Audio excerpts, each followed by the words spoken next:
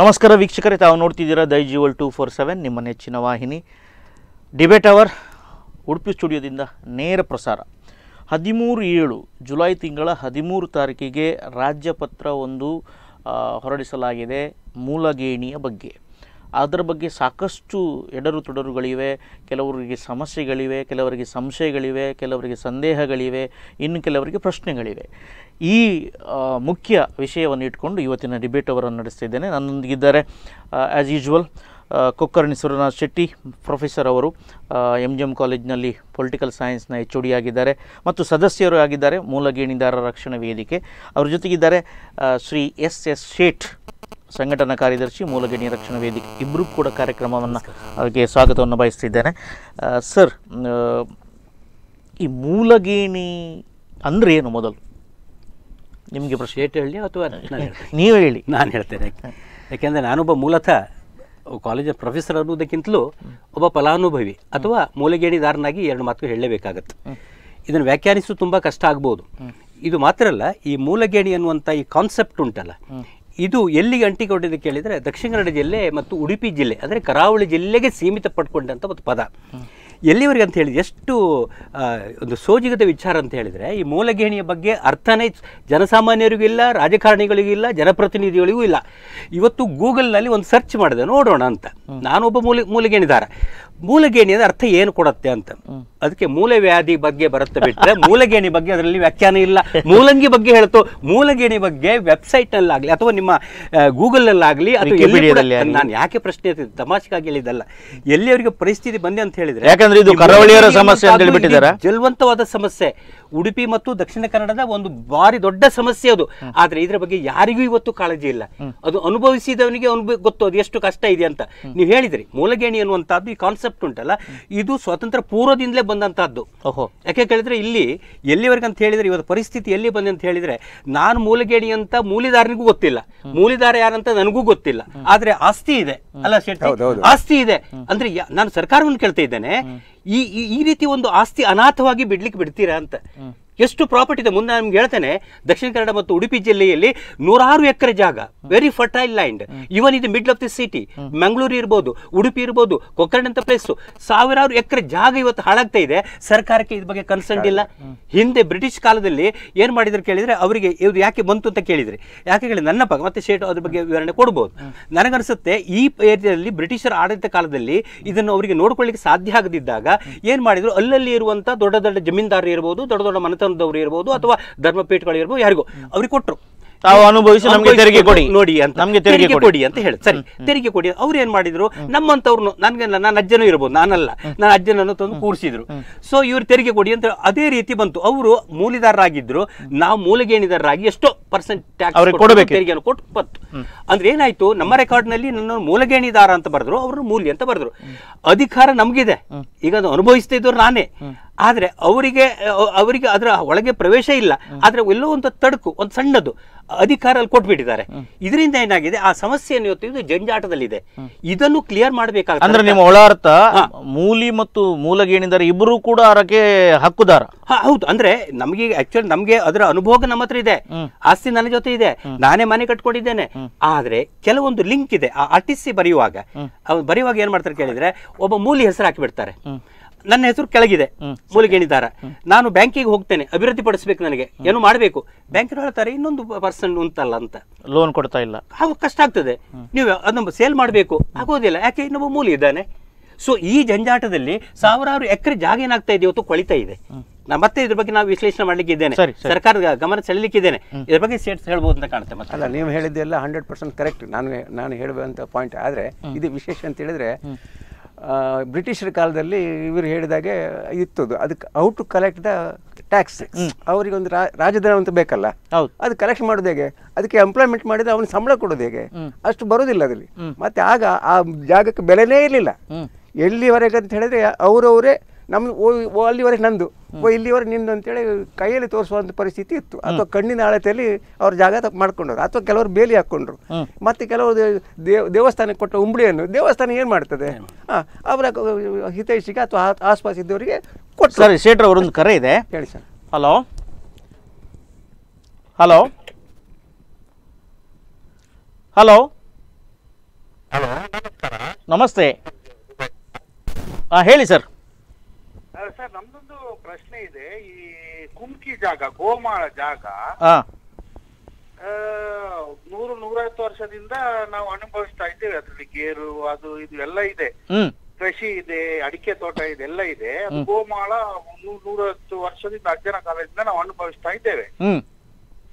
ಆ, ಸಾವಿರದ ಒಂಬೈನೂರ ಎಂಬತ್ತ ಮೂರರಲ್ಲಿ ನಾವು ಒಮ್ಮೆ ಅರ್ಜಿ ಹಾಕಿದ್ವಿ ಅಕ್ರಮ ಸಕ್ರಮಕ್ಕೆ. ಹಾಂ ನಂತರ last four five years four years three years before I think ನಮ್ಗೆ ಅದ್ರದ್ದು ರಿಕ್ವೆಸ್ಟ್ ಬಂದಿತ್ತು. ನಂತರ ನಾವು ಇಲ್ಲಿ ಸುರತ್ಕಲ್ಗೆ ಹೋಗಿ ನಂತರ ತಹಶೀಲ್ದಾರ್ಗೆ ಮೀಟ್ ಆಗಿ ಅಲ್ಲಿ ಅರ್ಜಿ ಎಲ್ಲ ಹಾಕಿ ಬಂದಿದ್ವಿ. ಅದರ ಬಗ್ಗೆ ಏನು ನ್ಯೂಸ್ ಇಲ್ಲ. ಅದು ನಮ್ಗೆ ಆಗಬಹುದಾ? ಸರಿ ದುಬೈಯಿಂದ ಕರೆ. ಅವರು ಅವರು ಯಾಕೆ ಕೇಳಿದ್ರೆ ನಾವು ಇಲ್ಲಿ ಪ್ರಮುಖವಾಗಿ ಮೂಲಗೇಣಿ ಸಮಸ್ಯೆನೇ ಬಗ್ಗೆ ಕಾನ್ಸಂಟ್ರೇಟ್ ಮಾಡ್ತಿದ್ದೇವೆ. ಅವರು ಏನ್ ಮಾಡ್ತಾರೆ ಕೇಳಿದ್ರೆ ಈ ಕುಮ್ಕಿ ಜಾಗ ಅಂತ ಇದೆ ಅದರ ಬಗ್ಗೆ ನಿಮ್ಮ ಜಾಗಕ್ಕೆ ಹೊಂದಿಕೊಂಡಿರುವಂತಹ ಜಾಗ ಪಟ್ಟ ಜಾಗ ತಾಕೊಂಡಿರುವಂತದ್ದು ಕುಮ್ಮಕ್ಕು ಜಾಗ ಅಂದ್ರೆ ನಿಮ್ಮ ಕೃಷಿ ಅಭಿವೃದ್ಧಿ ಪಡಿಸಲಿಕ್ಕೆ ಅದ್ರ ಬಗ್ಗೆ ಸರ್ಕಾರ ಇವತ್ತು ಗಮನ ಹರಿಸ್ತಾ ಇದೆ. ಅದ್ರ ಬಗ್ಗೆ ನಾವು ಇವತ್ತು ಇಲ್ಲಿ ಚರ್ಚೆ ಮಾಡ್ತಾ ಇಲ್ಲ. ಯಾಕೆ ಕೇಳಿದ್ರೆ ಆ ಸಬ್ಜೆಕ್ಟ್ ಎಕ್ಸ್ಪರ್ಟ್ ಕರೆ ಬಂದಿದೆ. ಅವ್ರಿಗೆ ಆಗತ್ತೆ.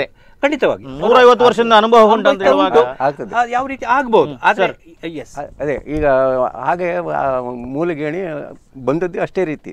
ಆಗ ಬ್ರಿಟಿಷ್ ಕಾಲದಲ್ಲಿ ಇವ್ರಿಗೆ ಕೊಟ್ಟದ್ರಿಂದ ಅವರು ಏನೋ ಇದು ಕಲೆಕ್ಟ್ ಮಾಡಿ ನಮಗೆ ಇದು ಖಜಾನೆ ಕಟ್ಟಿ ಅಂತ ಹೇಳಿದರು. ಅವರು ಅದನ್ನು ಮತ್ತೊಬ್ರಿಗೆ ಕೊಟ್ಟರು ಈಗ ದೇವಸ್ಥಾನಕ್ಕೆ ಕೊಟ್ಟದ್ದು ಜಾಗದಲ್ಲಿ ದೇವಸ್ಥಾನದವ್ರು ಏನು ಎಂಪ್ಲಾಯೀಸ್ ಏನು ಮಾಡ್ತಾರೆ ಏನು ಮಾಡಲಿಕ್ಕಲ್ಲ ಅಲ್ಲಿ ಯಾರು ಅದ್ರ ಹತ್ರ ಇದ್ದಾರೆ ತ ಆ, ಬೇಸಾಯ ಮಾಡ್ತಾರೆ ಅಥವಾ ಯಾರು ಅದನ್ನು ಅನುಭವಿಸೋಕೆ ರೆಡಿ ಇದ್ದಾರೆ ಅವ್ರಿಗೆ ಕೊಟ್ಟಿದ್ದು. ಅದು ಏನಾಗಿದೆ ತಲೆ ತಲಾಂತರದಿಂದ ಮೂರು ನಾಲ್ಕು ಡಿಕೆಡ್ ಈಗ ಇದು more than in two hundred years in ಬ್ಯಾಕಿನ ಕಷ್ಟ ಇಷ್ಟು ಓಹೋ ಹೋ ಇನ್ನೂರು ವರ್ಷ ಹಿಂದಿನ ಬಗ್ಗೆ. ಇದಕ್ಕೆ ಉದಾಹರಣೆ ಒಂದು ನನಗೆ ತಮಾಷೆ ಅಂತ ಹೇಳಿದ್ರೆ ನಾನು ಜಮೀನ್ದಾರಿ ಪದ್ಧತಿ ಅಂತ ಹೇಳಿತ್ತು ಬ್ರಿಟಿಷರ ಆಳ್ವಿಕೆಯಲ್ಲಿ. ಹೌದು. ಆ ಸಂದರ್ಭದಲ್ಲಿ ಇದು ಹೌದು. ಇನ್ನೂರು ವರ್ಷ ಅಂತ ಹೇಳಿ ಹೌದೌದು. ಇನ್ನೂರು ವರ್ಷಕ್ಕಿಂತ ಹಿಂದಿನದು. ಹಿಂದಿನದು. Not less than two hundred years ಈ ಪದ್ಧತಿ ಇದು ಬೇರೆ ಕರ್ನಾಟಕದಲ್ಲಿ ಕರ್ನಾಟಕ ಬೇರೆ ಬೇರೆ ರಾಜ್ಯರಿಗೆ ಬೇರೆ ಬೇರೆ ಹೆಸರಲ್ಲಿ ಕರೀತಾರೆ. ಉದಾಹರಣೆಗೆ ಒಂದು ಕಡೆ ಬಾಣೆ ಅಂತ ಕರೀತಾರಂತೆ. ಇನ್ನೊಂದು ನಾರ್ತ್ ಕನ್ನಡದಲ್ಲಿ ಮತ್ತೊಂದು ಇದರಲ್ಲಿ ಕರಿಬೋದು. ಈಗ ದಕ್ಷಿಣ ಕನ್ನಡ ಮತ್ತು ಉಡುಪಿಯಲ್ಲಿ ಎರಡು ಮೂಲಗೇಣಿ. ಮೂಲೆಗಣಿ ಅಂತೇಳಿ ಕರೀತಾರೆ. ಈ ಮೂಲೆಗಣಿ ಇಷ್ಟೇ. ಇದು ತಲೆ ತಲಾಂತರ ಬಂದು ಯಾ ಈಗ ಶೆಟ್ರ್ ಹೇಳಿದ ಹಾಗೆ ಒಡೆಯನಿಗೆ ಒಕ್ಕಲು ಯಾರಂತ ಗೊತ್ತಿಲ್ಲ ಒಕ್ಕಲಿಗೆ ಒಡೆಯನ್ ಯಾರು ಗೊತ್ತಿಲ್ಲ? ಒಂದು. ಮತ್ತೆ ಅವ್ರ ಜಾಗ ಎಲ್ಲಿರುವುದಂತ ಅವರಿಗೆ ಸಹ ಗೊತ್ತಿಲ್ಲ. ಅವ್ರಿಗೆ ಸಹ ಗೊತ್ತಿಲ್ಲ. ಇಂಥ ಪರಿಸ್ಥಿತಿಯಲ್ಲಿ ಇದನ್ನೊಂದು ಒಂದು ಹಂತಕ್ಕೆ ತರಬೇಕಂತೇಳಿ ನಮ್ಮ ಡಾಕ್ಟರ್ ವಿ ಎಸ್ ಆಚಾರ್ಯರ ಕಾಲದಲ್ಲಿ ಅವರು ಸರ್ಕಾರದಲ್ಲಿರುವಾಗ ಅವ್ರ ಕಾಲದಲ್ಲಿ ಈ ಮೂಲಿ ಹೆಕ್ಕು ಮತ್ತು ಕುಮ್ಕಿ ಎರಡನ್ನೂ ಎರಡು ಸೇರಿಸಿ ಇದಕ್ಕೆ ಒಂದು ಎಂಡ್ ಕಾಣಿಸ್ಬೇಕಂತ ಹೇಳ್ಕೊಂಡು ಅವರು ಎಲ್ಲ ಹಿರಿಯ ವಕೀಲರನ್ನು ಮತ್ತು ಹಿರಿಯ ತಹಶೀಲ್ದಾರರನ್ನು ಅದಕ್ಕೆ ಸಂಬಂಧಪಟ್ಟ ಅಧಿಕಾರಿಗಳನ್ನು ಕನ್ಸಲ್ಟ್ ಮಾಡಿ ಅಂದ್ರೆ ಅವರಿಗೆ ಇದರ ಬಗ್ಗೆ ಸ್ವಲ್ಪ ಅನುಭವ ಇತ್ತು. ಈಗ ಶೆಟ್ರು ಹೇಳಿದ್ರು ನಮ್ಮ ಜನಪ್ರತಿಗಳಿಗೆ ಇದು ಏನಂತ ಹೇಳಿ ಗೊತ್ತಿಲ್ಲ. ಮತ್ತೆ ಅವ್ರಿಗೆ ಮಾತ್ರ ಇತ್ತು. ಮತ್ತೆ ಇನ್ನೊಂದು ಪ್ರಶ್ನೆ ಹೇಳ್ಬೇಕಾಗತ್ತೆ. ನಮಗೆ ನಮ್ಮ ಮುಂದೆ ಹೇಳ್ತಾರೆ ರಾಷ್ಟ್ರಪತಿ ಅಂಕಿತ ಪಡಬೇಕಾದ್ರೆ ಆಸ್ಕರ್ ಫೆರ್ನಾಂಡಿಸ್ ತುಂಬಾ ಕೆಲಸ ಮಾಡಿದ್ರು ಅವತ್ತು. ಯಾಕೆ ನಮ್ಮ ಈ ಜನಪ್ರತಿನಿಧಿಗಳು ಕೆಲವರ ಹೆಸರಿಸಲೇಬೇಕಾಗುತ್ತೆ. ಯಾಕೆ ಹೇಳಿದ್ರೆ ಆಸ್ಕರ್ ಫೆರ್ನಾಂಡಿಸ್ ಇರ್ಬೋದು ಡಾಕ್ಟರ್ ವಿ ಎಸ್ ಆಚಾರ್ ಅಂತ ವ್ಯಕ್ತಿ ಈ ಮೂಲಗೇಣಿ ಸಮಸ್ಯೆ ಬಗ್ಗೆ ಅವರಿಗೆ ಒಡಲಿಗೆ ಗೊತ್ತಿತ್ತು ಅವರಿಗೆ. ನಿಜವಾದ ಅರ್ಥ ಗೊತ್ತಿತ್ತು. ಹಾಗಾಗಿ ಅದ್ರ ಬಗ್ಗೆ ಸಾಕಷ್ಟು ಪ್ರಯತ್ನ ಮಾಡಿದ್ದಾರೆ. ನಾವು ಮಾಡ್ಲಿಲ್ಲ ಅಂತ. ಅದ್ರ ಜೊತೆಗೆ ನಮ್ಮ ಹೋರಾಟ ನಡೆದಿದೆ. ಹೋರಾಟದ ಬಗ್ಗೆ ನಮ್ಮ ಅಧ್ಯಕ್ಷರು ಕೂಡ ಮಾತಾಡಲಿಕ್ಕಿದ್ದಾರೆ ಮುಂದೆ. ಕಾರ್ಯದರ್ಶಿಗಳಿದ್ದಾರೆ. ಹಾಗೆ ಶೇರ್ ಸರ್ ಇದ್ದಾರೆ. ಕೇಳಿ ಸರ್ ಮತ್ತೆ ಸರಿ ಈಗ ಇಂದಿರಾ ಗಾಂಧಿಯವರು ಉಳುವವನೇ ಭೂಮಿಯ ಒಡೆಯ ಅಂತೇಳಿ ಒಂದು ಇದು ತಂದ್ರು. ಆವಾಗ ಅವರಿಗೆ ಫುಲ್ ಪವರ್ ಆಫ್ ಅಟರ್ನಿ ಸಿಕ್ಕಿತ್ತಲ್ಲ. ಕರೆಕ್ಟ್ ಯಾ ಸರಿ. ಮತ್ತೆ ಈಗ ಮೂಲಗಿಣಿ ಸಮಸ್ಯೆ ಸರಿ ಸರಿ. ಸರಿ. ನಾನು ಹೇಳ್ಕೊಂಡು ಈ ಸಮಸ್ಯೆ ನಮಗೂ ಬಂತು. ಒಕ್ಕರಣೆಯಲ್ಲಿ ಸುಮಾರು ಒಂದು ಎಕರೆ ಅರವತ್ತು ಸೆಂಟ್ ಜಾಗ ಉಂಟು ನಮ್ಮದು ಪೇಟೆಯಲ್ಲಿ ಉಂಟು. ನಾವೇನ್ ಮಾಡ್ತು? ಆವಾಗ ಆ ಲ್ಯಾಂಡ್ ರಿಫಾರ್ಮ್ ಆಕ್ಟ್ ಬಂದಾಗ ನಮ್ಮ ಭೂಮಿ ಇದು ಕೂಡ ಡಿಕ್ಲರೇಷನ್ ಕೊಡ್ತು. ಡಿಕ್ಲರೇಷನ್ ಬಂದಾಗ ಎ ಸಿ ಕೋರ್ಟ್ನಲ್ಲಿ ನಮ್ದು ಅಪ್ಲಿಕೇಶನ್ ರಿಜೆಕ್ಟ್ ಆಯ್ತು. ಕಾರಣ ಹೇಳಿದ್ದಷ್ಟೇ ಅವರು. ನಿಮ್ಮದು ಅಗ್ರಿಕಲ್ಚರ್ ಲ್ಯಾಂಡ್ ಅಂತ ಬರೋಲ್ಲ. ಅಂದ್ರೆ ಕೃಷಿ ಭೂಮಿಗೆ ಮಾತ್ರ ಬರುತ್ತೆ. ಲ್ಯಾಂಡ್ ರಿಫಾರ್ಮ್ ಆಕ್ಟ್ ನಿಮ್ಮದು ಒಂದು ರೀತಿಯಲ್ಲಿ ಈ ಕೃಷಿಯೇತರ ಜಾಗವಾದ ಕಾರಣ ಇದನ್ನು ಟ್ರೀಟ್ ಮಾಡ್ಲಿಕ್ಕೆ ಆಗುವುದಿಲ್ಲ ಸರಿ ನಿಮ್ಮ ಸಂಘದ ಸಂಘಟನೆಯ ಅಧ್ಯಕ್ಷರಾದಂತ ಮ್ಯಾಕ್ಸಿಮ್ ಡಿ ಸಿಲ್ವಾ ಅವರು ಮಾತಾಡಿ, ಮಾತಾಡಿ. ಅವರು ಮುಂಚೂಣಿ ಹೋರಾಟ ಹೌದು. ಮ್ಯಾಕ್ಸಿಮ್ ಡಿ ಸಿಲ್ವಾ ನಮಸ್ಕಾರ. ಹಲೋ ಹಲೋ ನಮಸ್ತೆ ಮ್ಯಾಕ್ಸಿಮ್ ಡಿ ಸಿಲ್ವರ್ ಅವರು ಹೌದು ಹೌದು ಹೌದು. ಆ, ನಮಸ್ಕಾರ ಸರ್. ನಮಸ್ತೆ ನಮಸ್ತೆ. ಟಿ ವಿ ವಾಲ್ಯೂಮ್ ಸ್ವಲ್ಪ ಕಡಿಮೆ ಮಾಡಿದರೆ ನಾವು ನೇರವಾಗಿ ಮಾತಾಡ್ಬೋದೇನಾ? ಓಕೆ ಓಕೆ ಓಕೆ ಓಕೆ ತಾವು ಸಾಕಷ್ಟು ವರ್ಷಗಳಿಂದ ಮಂಚೂಣಿಯಲ್ಲಿ ಇದ್ದುಕೊಂಡು ಇದರ ಬಗ್ಗೆ ಹೋರಾಟವನ್ನು ಮಾಡಿದವರು ಒಂದು ಸಮಿತಿಯನ್ನು ಸಮಾನ ಮನಸ್ಕರ ಸಮಿತಿಯನ್ನು ಇಟ್ಟುಕೊಂಡು ಎಲ್ಲರ ಒಕ್ಕಲರ ಅಭಿಪ್ರಾಯವನ್ನು ಪಡೆದುಕೊಂಡು ಇದರ ಬಗ್ಗೆ ಸರ್ಕಾರಕ್ಕೆ ಮನವರಿಕೆ ಮಾಡಿದವರು. ಈಗ ಏಕಾಏಕಿ ಒಂದು ರಾಜ್ಯ ಬರುತ್ತೆ ಜುಲೈ ಹದಿಮೂರರಂದು. ಈ ನಿಮ್ಮ ಹೋರಾಟ ಸಾಕಷ್ಟು ವರ್ಷಗಳಿಂದ ಇದೆ. ಹೌದು. ಎರಡು ಸಾವಿರದ ಎಂಟರಿಂದ ಇದೆ. ಎರಡು ಸಾವಿರದ ಎಂಟರಿಂದ ಇದೆ. ಆದರೆ ನಿಮ್ಮ ಹೋರಾಟಕ್ಕೆ ಯಾವುದೇ ಒಂದು ಬೆಲೆ ಅಥವಾ ಒಂದು ಜನಪ್ರತಿನಿಧಿಗಳಿಂದ ಅದಕ್ಕೆ ಬೆಂಬಲ ಯಾಕಿಲ್ಲ ಸರ್? ನೋಡಿ ಸರ್ ಎರಡು ಸಾವಿರದ ಎಂಟರಲ್ಲಿ ನಾವು ತುಂಬ ಕಷ್ಟಪಟ್ಟು ಪ್ರೊಟೆಸ್ಟ್ ಮಾಡಿ ಆ ಟೈಮ್ನಲ್ಲಿ ನಮಗೆ ಸ್ಪಂದಿಸಿದವರು ಡಾಕ್ಟರ್ ವಿ ಎಸ್ ಆಚಾರ್ಯ ನನಗೆ ನಾನು ಈ ನನಗೆ ಸ್ಫೂರ್ತಿ ಕೊಟ್ಟದ್ದು ನಮ್ಮ ವಕೀಲರಾದ ಹಿರಿಯ ವಕೀಲರಾದ ಎ ಪಿ ಗೌರಿಶಂಕರ್ ಅಂತ. ಸರಿ. ಅವರು ಸಾಧಾರಣ ಎಲ್ಲ ಪೇಪರ್ಗಳಲ್ಲಿ ಲೇಖನ ಹಾಕಿ ಈ ಮೂಲ್ಗೆನಿ ಬಗ್ಗೆ ಇದು ಕೊಟ್ಟದ್ದು ಮಾಹಿತಿ ಕೊಟ್ಟದ್ದು ಅವರು. ಆ ಲೇಖನಕ್ಕೆ ಸ್ಪಂದಿಸಿ ನಾವು ಹೋರಾಟ ಅಂದ್ರೆ ನಾವು ನನ್ನನ್ನು ಕರೆದು ಅವರು ಒಂದು ಹೋರಾಟ ನಾವು ಮಾಡಬೇಕು. ಈ ಮೂಲ್ಗೆನಿ ಸಮಸ್ಯೆ ದಿನಕ್ಕೆ ದಿನಕ್ಕೆ ಜಾಸ್ತಿ ಆಗ್ತಾ ಇದೆ. ಅಂದ್ರೆ ಒಂದು ಈಗ ಓ ಯಾರು ಅವರು ಹೇಳಿದಾಗೆ ನಮ್ಮ ಸುರೇಂದ್ರನಾಥ್ ಶೆಟ್ಟಿ ಹೇಳಿದಾಗೆ ಮೂಲದಾರರು ಯಾರಿಗೆ ಅಂತ ಮೂಲ್ಗೇನಿದಾರರಿಗೆ ಗೊತ್ತಿಲ್ಲ. ಮೂಲ್ಗೇನಿದಾರರಿಗೆ ಮೂಲದಾರರು ಯಾರು ಅಂತ ಗೊತ್ತಿಲ್ಲ. ಯಾಕಂದ್ರೆ ಅದು ಸಬ್ ಡಿವಿಷನ್ ಆಗಿದೆ ಕೆಲವು. ಒಟ್ಟಾರೆ ಈ ಸಮಸ್ಯೆ ಏನಂತೇಳಿ ಜನಪ್ರತಿನಿಧಿಗಳಿಗೆ ಗೊತ್ತಿಲ್ಲ. ಹೌದು ಗೊತ್ತಿಲ್ಲ. ಆ ಟೈಮ್ನಲ್ಲಿ ನಮಗೆ ಸ್ಪಂದಿಸಿದವರು ವಿ ಎಸ್ ಆಚಾರ್ಯ. ಕರೆಕ್ಟ್. ಅವರನ್ನು ನಾನು ನೆನಪು ಮಾಡ್ಬೇಕು ಯಾಕಂದ್ರೆ ಅವರು ಇರುವ ಮಾಡಿದ್ರು ಇಲ್ಲಿ. ಹೌದು ಆವಾಗ ಗೃಹ ಮಂತ್ರಿ ಆಗಿದ್ದರು. ನಮ್ಮನ್ನು ಕರೆಸಿ ಅದಕ್ಕೆ ಒಂದು ಬೇಕಾದ ನ್ಯಾಯವನ್ನು ಅಂದ್ರೆ ಒಂದು ಬೇಕಾದ ಲೆಜಿಸ್ಲೇಷನ್ ಮಾಡಿ ಮಾಡಿ ಅದನ್ನು ಸರ್ಕಾರದ ಇದಕ್ಕೆ ನಮ್ಮ ಅಧಿವೇಶನದಲ್ಲಿ ಹಾಕಿ ಅದಕ್ಕೆ ಸರಿ ಒಂದು ಡ್ರಾಫ್ಟ್ ರೂಲ್ಸ್ ಡ್ರಾಫ್ಟ್ ಮಾಡುವಲ್ಲಿ ಮಾಜಿ ಅಡ್ವೊಕೇಟ್ ಜನರಲ್ ಆದ ಬಿ ವಿ ಬಿ ವಿ ಆಚಾರ್ಯರಿಂದ ಕೇಳಿಕೊಂಡು ನಮ್ಮನ್ನು ಕರೆದು ಡಿಸ್ಕಸ್ ಮಾಡಿ ಒಂದು ಲೆಜಿಸ್ಲೇಷನ್ ತಯಾರು ಮಾಡಿದ್ರು. ಅದಕ್ಕೆ ಆ ಟೈಮ್ನಲ್ಲಿ ಎರಡ್ ಸಾವಿರದ ಎಂಟ್ ಹತ್ತರಲ್ಲಿ ಎಂಟರಲ್ಲಿ ಒಂಬತ್ತರಲ್ಲಿ ಅಲ್ಲ? ಆ ಲೆಜಿಸ್ಲೇಷನ್ ತಯಾರು ಮಾಡುವಾಗ ಯಡಿಯೂರಪ್ಪ ಸರ್ ಮುಖ್ಯಮಂತ್ರಿ ಆಗಿದ್ದರು. ಇವನ್ ಅವರಿಗೆ ವಿ ಎಸ್ ಆಚಾರ್ ಅವರೇ ಅವರೇ ಹೋಗಿ ಈ ಮುಳುಗಿನಿ ಸಮಸ್ಯೆಯನ್ನು ಅವರಿಗೆ ಮನವರಿಕೆ ಮಾಡಿ. ಸರ್ ಈಗಲೂ ಕೂಡ ಅವರೇ ಮುಖ್ಯಮಂತ್ರಿ ಅಲ್ವಾ? ಆ ಟೈಮ್ನಲ್ಲಿ ಈಗ ಸಹ ಅವರೇ ಮುಖ್ಯಮಂತ್ರಿ. ಈಗ ನಾವು ಹೇಳಿದಾಗೆ ಅಂದ್ರೆ ಅವರು ಒಂದು ವರ್ಷ ಆಯ್ತು. ಆ ಒಂದು ವರ್ಷದಲ್ಲಿ ಅವರಿಗೆ ತುಂಬಾ ತುಂಬಾ ಅಂದ್ರೆ ಸ್ವಲ್ಪ ಆಲೋಚನೆ ಬಂದಿದೆ ಹಾಗೆ ಹೀಗೆ ಅಂತ. ಆದ್ರೆ ಮನವಿ ನಾವು ಮನವಿ ಕೊಟ್ಟಿದ್ದೇವೆ. ಈಗ ಗಮನ ಈಗ ಮುಂದಿನ ನಡೆ ಏನು ಈಗ ಮುಂದಿನ ನಡೆ ಏನು ನಿಮ್ದು? ಮುಂದಿನ ನಡೆ ಈಗ ಏನಂತ ಸರ್ ಅಂದ್ರೆ ನಾವು ಅದಕ್ಕೆ ಲೆಜಿಸ್ಲೇಷನ್ ಡಿಸ್ಟ್ರಿಕ್ಟಿಗೆ ಇಂಪ್ಲಿಮೆಂಟ್ ಮಾಡ್ಲಿಕ್ಕೆ ಬರುವಾಗ ನಮ್ಮ ಐವನ್ ಡಿಸೋದಾರ ಮುಜು ಮುತುವರ್ಜಿಯಲ್ಲಿ ಕಾಗೋಡು ತಿಮ್ಮಪ್ಪ ರೆವಿನ್ಯೂ ಮಿನಿಸ್ಟರ್ ಆಗ ರೂಲ್ಸ್ ಫ್ರೇಮ್ ಮಾಡಿ ಅದನ್ನು ಇಂಪ್ಲಿಮೆಂಟ್ಗೆ ತಂದಿದ್ದೆವು. ಡಿಸ್ಟ್ರಿಕ್ಟಿಗೆ ಇಂಪ್ಲಿಮೆಂಟ್ ಮಾಡ್ಲಿಕ್ಕೆ ತಂದಿದ್ದೆವು. ಸರಿ. ಆವಾಗ ತುಂಬಾ ತುಂಬಾ ಮನವಿಗಳು ಡಿ ಸಿಯಲ್ಲಿ ತಲುಪಿದ್ದೇವೆ ಅರ್ಧ ಸಾಧಾರಣ ಅರ್ಧ ಮುಕ್ಕಾಲು.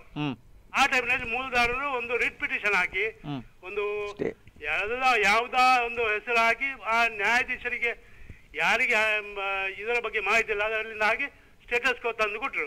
Status quo status quo order ಮಾಡಿದ್ರು. Stay stay. ಯಥಾಸ್ಥಿತಿ. ಯಥಾಸ್ಥಿತಿ. ಯಾಕಂದ್ರೆ ನಮ್ಮ ಅರ್ಜಿಗಳನ್ನು ಮುಂದುವರಿಸಬಾರದು ಅಂತ. ಹಾಂ. ಸೊ ಈಗ ಈಗ ನಿಮ್ಮ ಒಂದು ನಮ್ಮ ಮಾಧ್ಯಮದ ಮೂಲಕ ಸರ್ಕಾರದಲ್ಲಿ ಏನು ಹೇಳಿಕೆ ಬಯಸ್ತೀರಿ? ನಾನು ಹೇಳ್ತೇನೆ ಸರ್ಕಾರದ ಸರ್ಕಾರ ಮಾಧ್ಯಮ ಮುಖಾಂತರ ಸರ್ಕಾರಕ್ಕೆ ಈಗ ಇರುವ ಯಥಾಸ್ಥಿತಿ ಎರಡು ಸಾವಿರದ ಹದಿನಾರರಲ್ಲಿ ಕೊಟ್ಟದ್ದು. ಅದಕ್ಕೆ state government versus state government ಆ ಸ್ಟೇಟ್ ಗವರ್ಮೆಂಟ್ ಅಂದ್ರೆ ಲಾ ಡಿಪಾರ್ಟ್ಮೆಂಟ್ ಅಂದ್ರೆ ಅಡ್ವೊಕೇಟ್ ಜನರಲ್ ಅವರು. ಹೌದು. ಒಂದು ಅವರಿಗೆ ಯಾವ ಡಿಪಾರ್ಟ್ಮೆಂಟ್ ಅವರಿಗೆ ರೆವಿನ್ಯೂ ಡಿಪಾರ್ಟ್ಮೆಂಟ್ ಅವರಿಗೆ ಹೇಳಿ ಅವರಿಂದ ಒಂದು ಏನಾದ್ರೂ ಒಂದು ಅಪೀಲ್ ಹಾಕಿಸಿ ಆ ಸ್ಟೇಟಸ್ ಯಥಾಸ್ಥಿತಿಯನ್ನು ತೆಗೆಸಬೇಕು. ಅದು ಸರ್ಕಾರದ ಕಾರ್ಯ.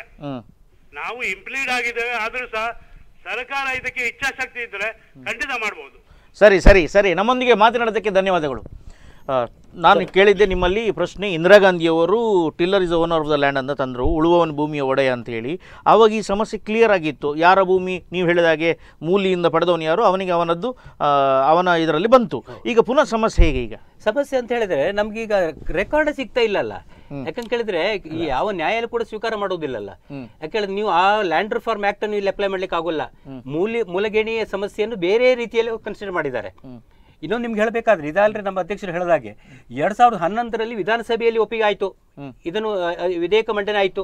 ವಿಧಾನ ಪರಿಷತ್ತಿ ಬಂತು ಅಲ್ಲೂ ಆಯ್ತು. ರಾಜ್ಯಪಾಲರಿಗೆ ಹೋಯ್ತು. ರಾಜ್ಯಪಾಲರು ಅದನ್ನು ಭೂ ಸಂಬಂಧಪಟ್ಟ ಕಾಯ್ದೆ ಆದ ಕಾರಣ ಅದನ್ನು ರಾಷ್ಟ್ರಪತಿ ಕಳಿಸಿದ್ರು. ರಾಷ್ಟ್ರಪತಿ ಅಂಕಿತ ಸಿಕ್ತು. ಪುನಃ ಬಂತು. ಗಜೆಟ್ ನೋಟಿಫಿಕೇಶನ್ ಆಯ್ತು. ಇಂಪ್ಲಿಮೆಂಟ್ ಆಗುವ ಸ್ಟೇಜ್ನಲ್ಲಿ ಇದು ವಿದಲ್ಡ್ ಆಯ್ತು ಈಗ. ಸ್ಟೇ ಆಯ್ತು. ಸ್ಟೇ ಆಯ್ತು. ಅಂದ್ರೆ ಎಲ್ಲೋ ಒಂದು ಕಡೆ ಎಲ್ಲೋ ಒಂದು ರಾಜ್ಯಕ್ಕೆ ಇಚ್ಛಾಶಕ್ತಿಯ ಕೊರತೆ ಇದೆ. ಅಲ್ಲ, ಇನ್ನೊಂದು ನಾನು ಇನ್ನೊಂದು ನಾನು ರಾಷ್ಟ್ರಪತಿಯ ಅಂಕಿತ ಬಿದ್ದ ಮೇಲೆ. ಅದು ಗಜೆಟ್ಗೆ ಬಂದ ಮೇಲೆ ಮತ್ತೆ ಹೇಗೆ ಸ್ಟೇಬಲ್ ಬರ್ಬೇಕು. ಯಾಕಂದ್ರೆ ಕೋರ್ಟ್ ನ್ಯಾಯಾಂಗ ಬೇರೆ ಇವತ್ತು ರಾಷ್ಟ್ರಪತಿ ಸತ್ತ ಕೇಂದ್ರ ಸರ್ಕಾರ ಕಾಯ್ದೆಯನ್ನೇ ಇವರು ಕೋರ್ಟ್ ತಡೆ ಹಿಡಿದುಂಟು ತಡೆ ಆದ್ರೆ ಅದು ಪರಿಶೀಲನೆಗೆ ಬಳ- ಬಳಪಡಿಸ್ತಾರೆ ನಾವು ನ್ಯಾಯಕ್ಕೆ ಹೋಗ್ಬಾರ್ದು ಅಂತ ಹೇಳಲಿಕ್ಕೆ ಆಗೋಲ್ಲ. ನ್ಯಾಯಾಂಗಕ್ಕೆ ಇದೆ. ಆದ್ರೆ ನ್ಯಾಯಾಂಗ ಇಷ್ಟು. ರಾಜಕೀಯ ಇಚ್ಛಾಶಕ್ತಿ ಇಲ್ಲ.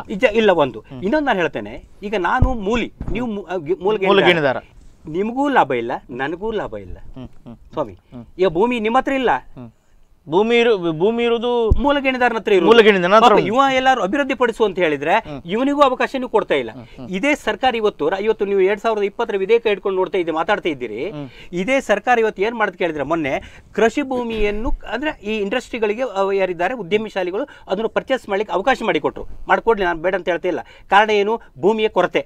ಇವತ್ತು ಅದೆಷ್ಟೋ ಭೂಮಿ ಸೌತ್ ಕನ್ನಡ ಮತ್ತು ಉಡುಪಿಯಲ್ಲಿ ಈ ರೀತಿ ಅನಾಥವಾಗಿ ಬಿದ್ದುಕೊಂಡಿದೆ. ಇದೆಲ್ಲವೂ ಕೂಡ ಇಂಡಸ್ಟ್ರಿಯಲ್ ಲ್ಯಾಂಡ್ಗಳೇ ಉದ್ಯಮಕ್ಕೆ ಬಳಸಲಿಕ್ಕೆ ಪೂರಕವಾದ ಲ್ಯಾಂಡ್ಗಳೇ ಇದನ್ನ ಯಾಕೆ ನೀವು ಒಂದು. ಮಾಡಬಾರ್ದು. ಅಲ್ವಾ? ಸುಗ್ರೀವಾಜ್ಞೆ ತರ್ಬೋದಲ್ಲ ಇದಕ್ಕೂ? ಸರಿ ಶೇಟ್ರವರೇ ಇದು ಎಲ್ಲಿಯೋ ಮೂಲಿಯವರಿಗೆ ನಮ್ಗೆ ಇದರಲ್ಲಿ ಸ್ವಲ್ಪ ಪರ್ಸೆಂಟೇಜ್ ಬೇಕು ಅಂತೇಳಿ ಅವರ ಕುಮ್ಮಕ್ಕು ಅಥವಾ ಒಂದು ಒಳ್ಳೆಯ ಮಾಪಿಯ ಏನು ಇರ್ಬೋದು ಅಂತ ಅನಿಸ್ತದೆ ಹಂಡ್ರೆಡ್? ಪರ್ಸೆಂಟ್ ಹಂಡ್ರೆಡ್ ಪರ್ಸೆಂಟ್ ಅದು ಅಷ್ಟೇ. ಅದು ಅದರಿಂದಾಗಿ ಹೀಗಾಗುದು ಯಾಕಂತ ಹೇಳಿದ್ರೆ ನಾನೀಗ ನೇರವಾಗಿ ಹೇಳಲಿಕ್ಕೆ ಇಚ್ಛಿಸ್ತೇನೆ. ಇದರಲ್ಲಿ ಇರುವ ಮೂಲಿದಾರರು ಯಾರಂತ ಹೇಳಿದ್ರೆ ಹೆಚ್ಚಾಗಿ ನೂರಿನ್ನೂರು ಸಾ ಮೂಡಿ ಆಸ್ತಿ ವಸ್ತ್ರ ಇರಬೇಕಾಗಿತ್ತು. ಈಗ ಸೌತ್ ಕನ್ನಡದಲ್ಲಿ ಅಂತವ್ರು ಈಗ ಭಾರಿ ಕಡಿಮೆ. ಏನ್ ಬೆರಳಲ್ಲಿ ಇದ್ರ ಏನು ಗೊತ್ತಿಲ್ಲ. ಮುಂಚೆ ಹಿಂದಿನ ಏತು ಮುಡಿ ಸಾಗೋಲಿ ಅಂತ ತುಳಿನಲ್ಲಿ ಕೇಳ್ತಿದ್ರು ಇನ್ನೂರು ಮುಡಿ ಸಾಗು ಇನ್ನೂರು ಮುಡಿ ಮೇಲೆ ಅಂತವರಿಗೆ ಅಂದ್ರೆ- ಅಂತವರು ಪ್ಲಸ್ ದೊಡ್ಡ ಸಾಹುಕಾರ. ಹೌದು. ಪ್ಲಸ್ ದೇವಸ್ಥಾನ ಮಠ. ಮಂದಿರ ಮಸ್ಜಿದ್ ಇಂಥದಕ್ಕೆಲ್ಲ ಉಂಟು. ಈಗ ನಮ್ಮ ರಾಜಕಾರಣಿಗಳಿಗೆ ಏನು ಅಂತ ಹೇಳಿದ್ರೆ? ಎಲ್ಲರೂ ಅವ್ರನ್ನ ಮತ್ತೆ ಈಗ ನಮ್ಮನೆ ನಮ್ಮ ವೋಟ್ ಬ್ಯಾಂಕ್ ಅಲ್ಲ ವೋಟ್ ಬ್ಯಾಂಕ್ ನಮ್ಮನೆ ನಮ್ಮ ಎಂ ಎಲ್ ಎ ಬಂದರೆ ಅಥವಾ ಒಂದು ಕೌನ್ಸಿಲರ್ ಬಂದ್ರೆ ಇವ್ರು ಎಷ್ಟು ನಾವು ಉಪ ಉಪಚಾರ ಮಾಡ್ತೇವೆ? ಅಂದ್ರೆ ಅವರಿಂದ ಏನಾದರೂ ಆಗ್ಬೋದು ಅಂತೇಳಿ ಆಗ ಆ ಕೌನ್ಸಿಲರ್ ಆಗಲಿ ಅವರು ಎಂ ಎಲ್ ಎ ಆಗಲಿ ಎಂ ಪಿ ಆಗಲಿ ಅವರು ನಮ್ಮನ್ನು ಎದುರಾಕೊಳ್ಳೋದಿಲ್ಲ ಇದು ಅವರಿಗೆ ಆಗಿದೆ ಒಂದು.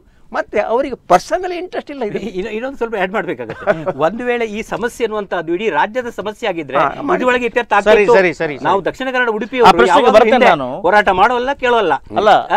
ಅನುಭವಿಸ್ತೇವೆ ಅಷ್ಟೇ. ಸುರೇಂದ್ರ ಶೆಟ್ರೆ ನೀವು ಆಗದಿಂದ ಹೇಳ್ತಿದ್ದೀರಿ ಇದು ಕರಾವಳಿಯ ಸಮಸ್ಯೆ ದಕ್ಷಿಣ ಕನ್ನಡ ಮತ್ತು ಉಡುಪಿ ಜಿಲ್ಲೆಯವರ ಸಮಸ್ಯೆ ಅಂತ ಹೇಳಿ. ಇಂಥದ್ದೇ ಸಮಸ್ಯೆಗಳು ಕೃಷಿಯೇ ಮೂಲ ಆದಾಯವಾಗಿರುವಂತಹ ರ- ಜಿಲ್ಲೆಗಳಿವೆ.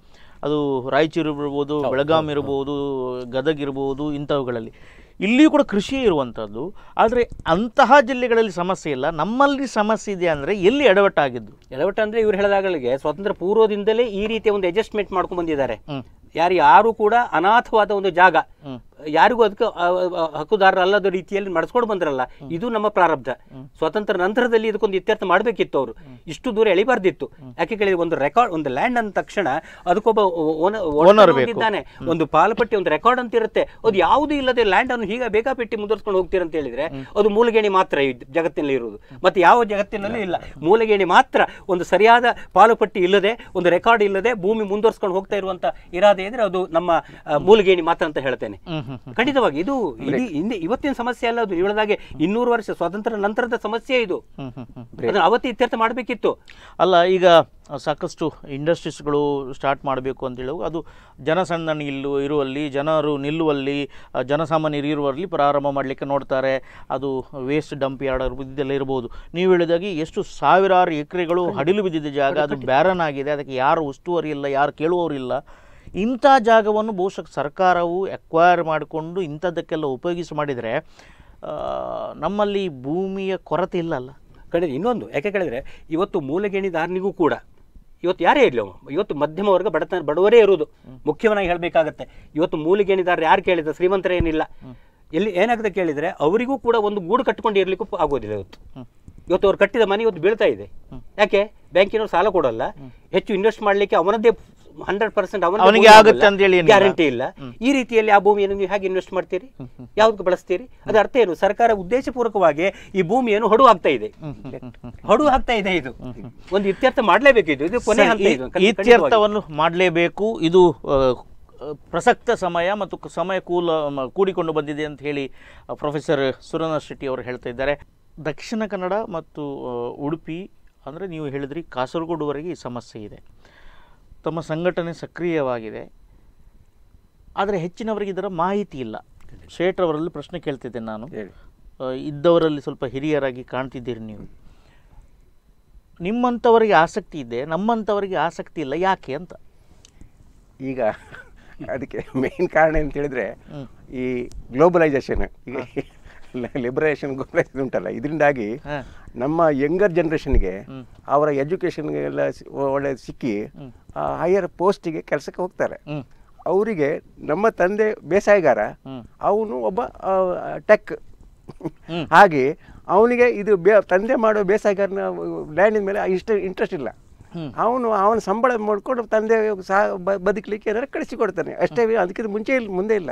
ಮತ್ತೆ ಈ ಸಿವಿಲ್ ಬಗ್ಗೆ ಈ ಹೆಚ್ಚಿನ ಜನರಿಗೆ ಮಾಹಿತಿ ಕೊರತೆ ಇದೆ. ನಾವು ಹೇಗೆ ಬದುಕಬೇಕು ಸಮಾಜದಲ್ಲಿ. ನಮಗೆ ಏನು ಬೇಕು? ಅದಕ್ಕೆ ನಾವು ಏನು ಮಾಡಬೇಕು ಅಂತ ಹೇಳೋ ವಿಷಯ ಇಲ್ಲ. ಸಂಬಳ ಬರ್ತದೆ ಮನೆ ಮತ್ತು ಸಂಸಾರ ಅಂತ ತಿಳಿಸ್ಕೊಳ್ಳೋ ಅಷ್ಟೇ. ಮತ್ತೆ ಅವ್ರಿಗೆ ಬೇಕಾಗದು ಒಂದೆರಡು ಮಕ್ಕಳೀಗ. ಮುಂಚಿನ ಹಾಗೆ ಅವಿಭಾಜ್ಯ ಇದಲ್ಲ ಒಂದೆರಡು ಮಕ್ಕಳು ಹೈ ಒಂದು ನನಗೆ ನಗೆ ಆಗುತ್ತೆ ಒಂದು ಮಗು ಹುಟ್ಟುವ ಮುಂಚೆ ಯಾವುದು ರಿಸರ್ವೇಷನ್ ಮಾಡೋ ಪರಿಸ್ಥಿತಿ ಬಂದಿದೆ. ಹೌದು ಹೌದು. ಅದಕ್ಕೆ ನಾಳೆ ಮಗು ಹುಟ್ಟು ಮೊದಲು ತೊಟ್ಟಲ್ಲಿ ಕಟ್ಟಿದ ಹಾಗೆ ಅಲ್ಲಿವರೆಗೆ ಬಂದಿದೆ. ನಾನು ಸ್ವಲ್ಪ ಸೇರಿಸ್ಬೇಕು ಸೇರಿಸಿ. ಏನ್ ಕೇಳಿದ್ರೆ ಇವತ್ತು ಮಕ್ಕಳಿಗೆ ಏನಾಗಿದೆ ಕೇಳಿದ್ರೆ ಭೂಮಿ ಮೇಲೆ ಆಸ್ತಿ ಆಸ್ತಿ ಇಲ್ಲ ಅಂತ ಅರ್ಥ ಅಲ್ಲ ಅವ್ರಿಗೆ ಆಸೆ ಇಲ್ಲ ಅಂತ ಅರ್ಥ ಇದೆ. ರೆಕಾರ್ಡ್ ಯಾವ ಸ್ಥಿತಿಯಲ್ಲಿ ಇದೆ ಅಂತ ಅವ್ರಿಗೂ ಗೊತ್ತಿಲ್ಲ. ತಿಳ್ಕೊಳ್ಳೋ ಆಸಕ್ತಿ ಇಲ್ಲ. ಹಾಗಂತ ಭೂಮಿಯಿಂದ ಧನ ಏನೋ ಬರುದಿದ್ರೆ ಬೇಕು. ಮಕ್ಕಳಿಗೆ ಬೇಕು ಎಲ್ಲರಿಗೂ ಬೇಕು. ಎಲ್ಲರ ಮಕ್ಕಳಿಗೂ ಒಂದೇ. ಪಾಲ್ಪಟ್ಟಿ ಪಾಲ್ಪಟ್ಟಿ ಎಲ್ಲ ಬೇಕು. ಆದ್ರೆ ಇದ್ರ ಹಿಂದಿರುವ ಜಂಜಾಟ ಏನುಂಟು ಆ ಜಗಳಾಟ ಏನುಂಟು. ಮಾಡ್ತಾರೆ ಗೊತ್ತು- ಗೊತ್ತಿಲ್ಲ. ಗೊತ್ತಿಲ್ಲ. ಅದು ನಮ್ದು ತಪ್ಪಿರ್ಬೋದು. ಅವ್ರಿಗೆ ಸರಿಯಾಗಿ ಅರ್ಥ ಮಾಡ್ಲಿಕ್ಕೆ ನಾವು ಹೋಗ್ಲಿಲ್ಲ. ಯಾಕೆ ನಾವು ನಮ್ಗೆ ನಮ್ಮ ಭೂಮಿ ಬಂದು ನಮ್ಮ ಹಿರಿಯರಿಂದ ಅಲ್ವಾ? ನಾವು ನಮ್ಮ ಕೈ ಬರುವವರಿಗೆ ನಮಗೂ ಕೂಡ ಅದ್ರ ಆಸಕ್ತಿ ಇರಲಿಲ್ಲ. ಯಾವಾಗ ನನ್ಗೆ ಆಸಕ್ತಿ ಬಂತು ಕೇಳಿದ್ರೆ ನಮ್ಗೆ ಕೊಟ್ಟಾಗ ನನಗೆ ಅದ್ರ ಮೇಲೆ ಆಸಕ್ತಿ ಬಂತು. ಅಲ್ವಾ? ಯಾವಾಗ್ಲೂ ಹಾಗೆ. ಒಂದು ಭೂಮಿ ನನಗೆ ಬಂದಾಗ ಅದ್ರ ಮೇಲೆ ಆಸಕ್ತಿ ಬರುತ್ತದೆ ಅದೇ ಆ ರೀತಿಯಲ್ಲಿ ಬರಬಿಟ್ರೆ ಯಾಕೆ ಆಸಕ್ತಿ ಯಾರು ಕಳ್ಕೊಳ್ಳಿಲ್ಲ. ಇನ್ನು ಈಗ ನಮ್ಮ ವೀಕ್ಷಕರಿಗೆ ಈಗ ತಾನೇ ಯಾರು ಟಿ ವಿ ನೋಡ್ತಾ ಇದ್ದಾರೆ ಅವರಿಗೆ ನಾನು ಕೇಳಿ ಹೇಳುವಂಥದ್ದು ಅಥವಾ ನೀವು ಸ್ವಲ್ಪ ವಿಸ್ತಾರವಾಗಿ ಹೇಳಬೇಕಾಗಿ ಈಗ ಮೂಲಗೇಣಿದವರಿಗೆ ಆರ್ ಟಿ ಸಿ ಎಂಬುದು ಇದೆ. ಕರೆಕ್ಟ್ ಅದರಲ್ಲಿ ಎರಡು ಹೆಸರು ಇದೆ. ಇದೆ. ಮೂಲಿ ಮೂಲಿ ಮೂಲಿ ಮತ್ತು ಮೂಲಗೇಣಿ ಮೂಲಗೇಣಿ. ಕೆಲವೊಮ್ಮೆ ಆರ್ ಟಿ ಸಿಯಲ್ಲಿ ಒಂದು ಜಾಗವನ್ನು ತೆಗೆದುಕೊಳ್ಳುವಾಗ ನಿಮಗೆ ಹೇಗೆ ಆಸ್ತಿ ಬಂತು ಅಂತೇಳಿ ಮೂಲ ದಾಖಲೆಗಳು ಬೇಕಾಗುತ್ತವೆ ಈ ಮೂಲ ದಾಖಲೆಗಳು ಬೇಗೆ ಬೇರೆ ಮೂಲಿ ಬೇರೆ ಮೂಲಗೇಣಿ ಬೇರೆ. ಸ್ವಲ್ಪ ವಿಶ್ಲೇಷಣೆ ಮಾಡಿ. ಅಂದರೆ ಮುಖ್ಯವಾಗಿ ನಾನು ಸ್ವಲ್ಪ ಹೇಳ್ತೇನೆ. ಮತ್ತೆ ಶೇಟ್ ಅದರ ಬಗ್ಗೆ ಕೂಡಿಸ್ಬೋದು ಕಾಣುತ್ತೆ. ಯಾವುದೇ ಒಂದು ಭೂಮಿ? ಇವತ್ತು ನಮ್ಮ ಭೂಮಿ ಅಂತ ಇಟ್ಟುಕೊಳ್ಳಿ ಒಂದು ಕರೆ ತಗೊಳ್ಳುವ ಓಕೆ ಹಲೋ ಹಲೋ ಹಲೋ ನಮಸ್ತೆ. ಹಾ ಸರ್ ನಮಸ್ತೆ. ನಾನು ರಾಜೇಶ್ ಅಂತ ಬಂಟ್ವಾಳದಿಂದ. ಹೇಳಿ ಸರ್. ಆ ಇಬ್ರು ಹಿರಿಯರಿಗೂ ನಮಸ್ತೆ ಸರ್. ನಮಸ್ಕಾರ ನಮಸ್ಕಾರ. ಹಲೋ. ಹಾ ಹೇಳಿ ಕೇಳ್ತಾ ಇದ್ದಾರೆ ಹೇಳಿ. ಕ್ಲಿಯರ್ ಇದೆ.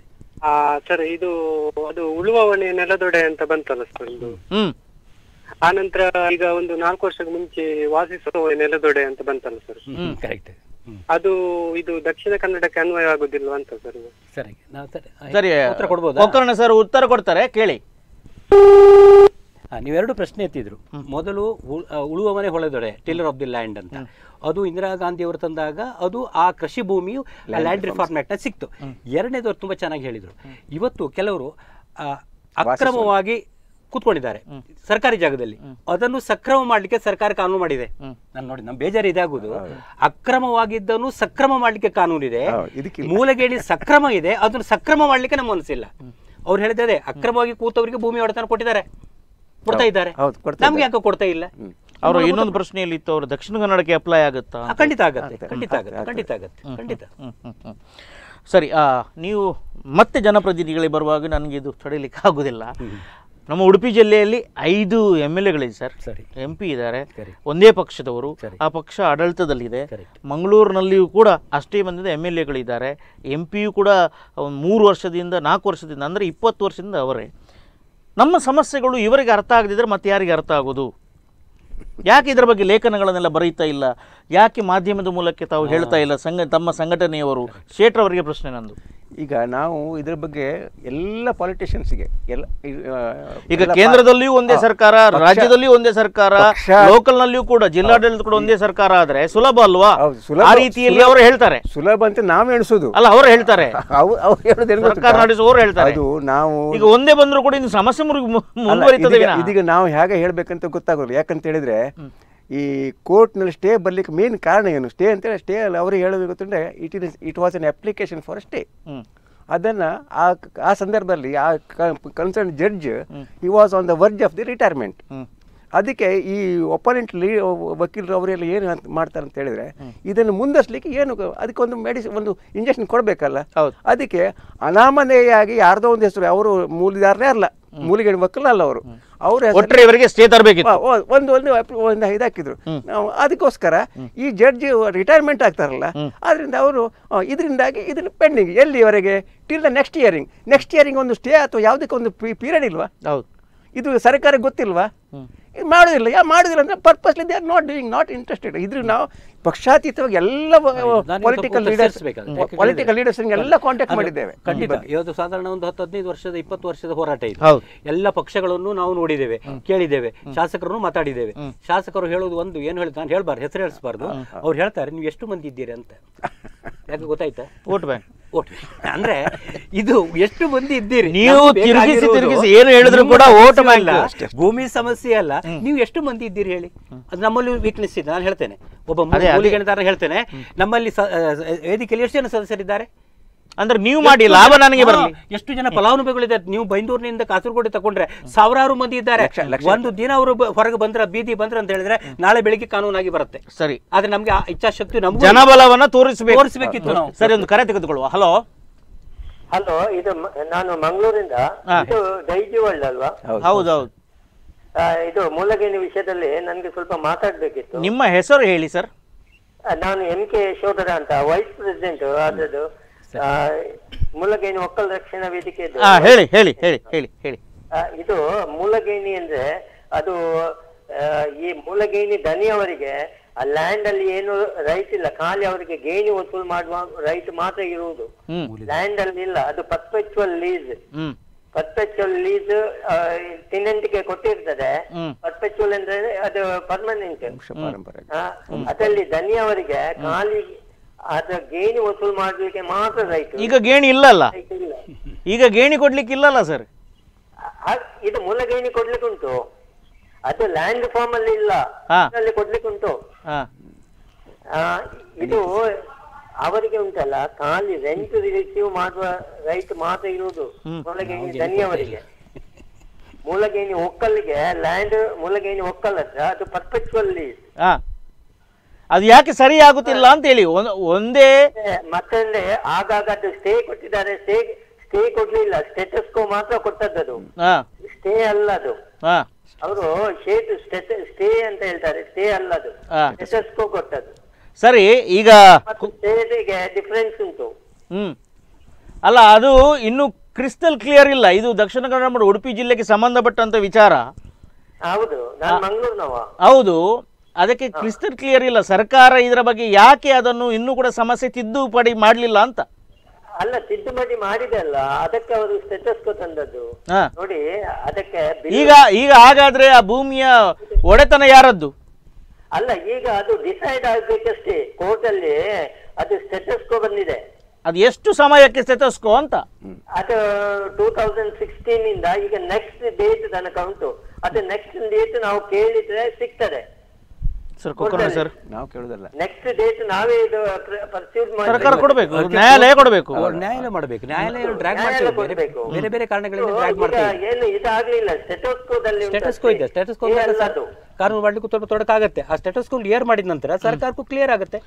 ಹೌದು ಇದು ಕ್ಲಿಯರ್ ಇಲ್ಲದೆ ಹೊಸ ಭೂ ಸುಧಾರಣೆ ಅಧ್ಯಾದೇಶ ಇಪ್ಪತ್ತು ಇಪ್ಪತ್ತು ತರಬೇಕಿತ್ತ ಅಂತ ಕೇಳೋದು ತಾರಾತುರಿಯಲ್ಲಿ. ಇಲ್ಲ ಇಲ್ಲ ಇಲ್ಲ ಈಗ ಇದ್ದದನ್ನೇ ನಾವು ಅವರು ಕೋರ್ಟ್ ಅಲ್ಲಿ ಓಪನ್ ಆಗಿ ಅದು ಆರ್ಗ್ಯುಮೆಂಟ್ ಆಗಿ ಆಗ್ಬೇಕು. ಸರಿ ಸರಿ ಸರಿ. ಧನ್ಯವಾದ ಮಾಹಿತಿಗೋಸ್ಕರ. ಬಹುಶಃ ಮೂಲಿಯಾಗಿರಬೇಕು ಮೂಲಿಗೇಣಿದಾರ ಅವರು? ನಮ್ಮ ಅಸೋಸಿಯೇಷನ್ ಅವರು ಅಧ್ಯಕ್ಷರು ಸರಿ. ಹಾ, ಸರಿ ನಾನು ನಿಮ್ಮಲ್ಲಿ ಕೇಳ್ತಾ ಇದ್ದೆ ಈಗ. ಈಗಿನ ಈ ಭೂ ಸುಧಾರಣೆ ಆ್ಯಕ್ಟ್ ಟ್ವೆಂಟಿ ಟ್ವೆಂಟಿ ಏನಿದೆ ಇದು ಭೂ ಮಾಫಿಯಾದವರಿಗೆ ರಿಯಲ್ ಎಸ್ಟೇಟ್ನವರಿಗೆ ಸಪೋರ್ಟ್ ಮಾಡಿ ಸರ್ಕಾರಿ ನಮ್ಮ ಕೃಷಿ ಭೂಮಿಯನ್ನು ಪರ್ಚೇಸ್ ಮಾಡಲಿಕ್ಕೆ ಸುಲಭ ಆಯ್ತಲ್ಲ? ಸುಲಭ ಆಯಿತು. ಯಾಕೆಂದರೆ ಎಲ್ಲಿ ಒಂದು ಅದನ್ನು ನಾನು ಇದಕ್ಕೆ ಲಿಂಕ್ ಕೊಡ್ತಾ ಇದ್ದೇನೆ. ಅದು ಹಾಗೆ ಇರಲಿ. ಇಲ್ಲಿ ಇವತ್ತು ಏನಾಗ್ತದೆ ಅಂದರೆ ಮೂಲೆಗೇಣಿದಾರು ಮೂಲೆದಾರನನ್ನು ಎಕ್ಸ್ಪ್ಲೈಟ್ ಮಾಡಲಿಕ್ಕೆ ಈ ಭೂ ಮಾಫಿಗಳಿಗೂ ಚಾನ್ಸ್ ಆಗಿದೆ ಇವತ್ತು. ರಿಯಲ್ ಎಸ್ಟೇಟ್ನವ್ರಿಗೆ ಚಾನ್ಸ್ ಆಗಿದೆ. ಯಾಕೆ? ನಮಗೂ ಒಂದು ಹೆದರಿಕೆ ಇದೆ. ಇದು ನಮ್ಗೆ ಇನ್ನೂ ಹಕ್ಕು ಬರಲಿಲ್ಲಲ್ಲ ಅಂತ. ಆ? ಅವರಿಗೂ ಇದೆ. ನನ್ನ ಹತ್ರ ಇಲ್ಲಲ್ಲ ಅಂತ ಭೂಮಿ. ಅವ್ರು ಏನು ಮಾಡ್ತಾರೆ ಅವಾಗ? ಇಬ್ಬರನ್ನು ಒಟ್ಟಿಗೆ ಸೇರಿಸ್ಕೊಂಡು ಒಂದು ಕಾಂಪ್ರಮೈಸ್ ಮಾಡಿ ಸ್ವಲ್ಪ ಲಂಸಮ್ ಕೊಟ್ಟು ಒಳಗೆ ಹಾಕುವಂತ ವ್ಯವಸ್ಥೆ ಮಾಡಬಹುದಲ್ಲ ಅಲ್ಲ, ಅದಕ್ಕೆ ಇದು ಅವಕಾಶ. ಮಾಡಿಕೊಡ್ಲಿಕ್ಕೆ ಕಾನೂನು ನಾವು ರಚ ಮಾಡಿಕೊಟ್ಟಾಗ ಆಯ್ತಲ್ಲ ಈಗ? ಆದಷ್ಟು ಬೇಗ. ಕರ್ನಾಟಕ ಸರ್ಕಾರ ಮಾಡಬೇಕಾದ್ದು ಅಂತ ಕೇಳಿದ್ರೆ ಈ ಭೂಸಾಧಾರಣೆ ಆಕ್ಟ್ ಇದು ನಮ್ಮ ಇದು ಏನಿದೆ ಮೂಲಿ ಮೂಲಿಗೆಣಿ ಹಕ್ಕಿನ ಇದು ಕಾಯ್ದೆ ಏನಿದೆ ಅನುಷ್ಠಾನಗೊಳಿಸಲೇಬೇಕಾಗತ್ತೆ. ಇದಕ್ಕಿಂತ ದೊಡ್ಡ ಶೋಷಣೆ ಇನ್ನೊಂದು ದಕ್ಷಿಣ ಕನ್ನಡ ಉಡುಪಿಯಲ್ಲಿ ಇಲ್ಲ. ಇದನ್ನು ಮೊದಲು ಮಾಡಬೇಕು. ನೀವು ಹೇಳಿದ ಜನ ಇವತ್ತು ನಮ್ಮ ಜನಪ್ರತಿನಿಧಿಗಳು ಮಾತಾಡ್ತಾ ಇಲ್ಲ. ಯಾಕಂದ್ರೆ ನಮ್ಮದು ದೋಷ ಇರಬಹುದು ಯಾಕಂದ್ರೆ ನಾವು ಹೋಗಿ ಅವರಿಗೆ ಹೆಚ್ಚು ಮನೆ ಕೊಟ್ಟ ಸಾಲದು ಗೊತ್ತಿಲ್ಲ. ಕೇಂದ್ರ ರಾಜ್ಯ ಜಿಲ್ಲೆ ನಮ್ದು ಎಲ್ಲವೂ ಕೂಡ ಆಡಳಿತ ಒಂದೇ ಇರುವಾಗ ಅಥವಾ ಡಾಕ್ಟರ್ ವಿ ಎಸ್ ಆಚಾರ್ ಅಂತ ವ್ಯಕ್ತಿಗಳು ಇದರ ಹಿಂದೆ ಇದ್ರು. ಅಂದ್ರೆ ಅವರಿಗೆ ಸ್ಪಷ್ಟವಾದ ಪರಿಕಲ್ಪನೆ ಇತ್ತು. ಅಲ್ವಾ? ಯಾಕೆ ಕೇಳಿದ್ರೆ ಒಂದು ನಾವು ಸಮಸ್ಯೆ ನಾವು ಬೀದಿಗೆ ತರಬೇಕಿತ್ತು. ನಾವು ಏನ್ ಮಾಡ್ತೀವಿ? ನಾವು ನುಂಗ್ಕೊಳ್ತಾ ಇದ್ದೇವೆ. ಪ್ರತಿಯೊಬ್ಬರು ಚೇಟಿ ಇರ್ಬೋದು ನಾವು ಇರ್ಬೋದು. ಸಮಸ್ಯೆ ರೆಕಾರ್ಡ್ ಹೇಳ್ಕೊಂಡು ನುಂಗ್ಕೊಳ್ತಾ ಇದ್ದೇವೆ ಬಿಟ್ಟರೆ ಎಲ್ಲಿಯೂ ಕೂಡ ಸಮಸ್ಯೆಯನ್ನು ಬೀದಿಗೆ ತರಲೇ ಇಲ್ಲ. ಸರ್ ಇನ್ನೊಂದು ಕರೆ ಇದೆ. ಹಲೋ? ಹಲೋ? ಹಲೋ ನಮಸ್ತೆ. ಸರ್ ಇದು ಮೂಲಿಗೆಯಲ್ಲಿ ವಿಷಯ. ನಾನು ಕಾವ್ಯ ಅಂತ ಮಂಗಳೂರಿನಿಂದ ಮಾತಾಡುದು. ಕಾವ್ಯ ಹೇಳಿ ಮೇಡಮ್ ಸರ್ ಏನಾಗ್ತದೆ ಅಂದ್ರೆ ಈಗ ನಾವು ಅದನ್ನು ಕನ್ವರ್ಷನ್ ಮಾಡಿ ಲ್ಯಾಂಡ್ ಅನ್ನು ಇದು ಮಾಡುವಾಗ ಕೆಲವು ಸತಿ ಹೆಚ್ಚು ಲ್ಯಾಂಡ್ ಇರ್ತದೆ. ಅದು ಅವರು ಅದನ್ನು ಕಡೆಗಣಿಸುದಿಲ್ಲ ಗೌರ್ಮೆಂಟ್ ಮತ್ತೆ ಏನಾಗಿದೆ ಅಂದ್ರೆ ಅದು ಲ್ಯಾಂಡ್ ಉಂಟಲ್ಲ ಅದರಲ್ಲಿ ರಾಂಗ್ ಇದು ಎಂತ ನಮ್ ಇದು ಇದು ಎಂತ ಮೆಷರ್ಮೆಂಟ್ಸ್ ರೈಟ್ ಇರ್ತದೆ ಆದ್ರೆ ಕ್ಯಾಲ್ಕುಲೇಷನ್ ರಾಂಗ್ ಇರ್ತದೆ. ಹ್ಮ್ ಹ್ಮ್ ಹ್ಮ್ ಹ್ಮ್ ಹ್ಮ್. ಅದು ಏನ್ ಮಾಡ್ತಾ ಅದಕ್ಕೆ ಏನ್ ಮಾಡ್ಬೇಕು? ಸ್ಪೆಸಿಫಿಕ್ ಆಗಿ ಸ್ಪೆಸಿಫಿಕ್ ನಿಮ್ಮ ಪ್ರಶ್ನೆ ಅರ್ಥ ಆಗ್ಲಿಲ್ಲ. ಸರ್ ಏನಾಗ್ತದೆ ಅಂದ್ರೆ ಇದು ಮೂಲಗೇನಿದು ಲ್ಯಾಂಡ್ ನಾವು ಕನ್ವರ್ಷನ್ ಮಾಡಿದ ಮೇಲೆ ಇದು ಫೈಂಡ್ ಔಟ್ ಮಾಡ್ತೇವೆ ಅಂದ್ರೆ ಅದರಲ್ಲಿ ಇದು ಮೆಷರ್ಮೆಂಟ್ ಎಲ್ಲ ಲ್ಯಾಂಡ್ ಅನ್ನ ಕನ್ವರ್ಷನ್ ಮಾಡೋದಿಲ್ಲ ನೀವು. ನಿಮಗೆ ಬೇಕಾದಷ್ಟೇ ಜಾಗನ ಮಾತ್ರ ಕನ್ವರ್ಷನ್ ಮಾಡ್ತೀರಿ ಸರಿ? ಹೌದು. ಅಲ್ಲ ಪೂರ ಲ್ಯಾಂಡ್ ಕನ್ವರ್ಷನ್ ಮಾಡ್ತೇವೆ. ಮ್ಯಾಂಗ್ಳೂರಲ್ಲಿ ಹಾಗೆ ಅಲ್ಲ ನಾವೆಲ್ಲ ಪೂರ ಲ್ಯಾಂಡ್ ಅನ್ನು ಕನ್ವರ್ಟ್ ಮಾಡ್ತೇವೆ.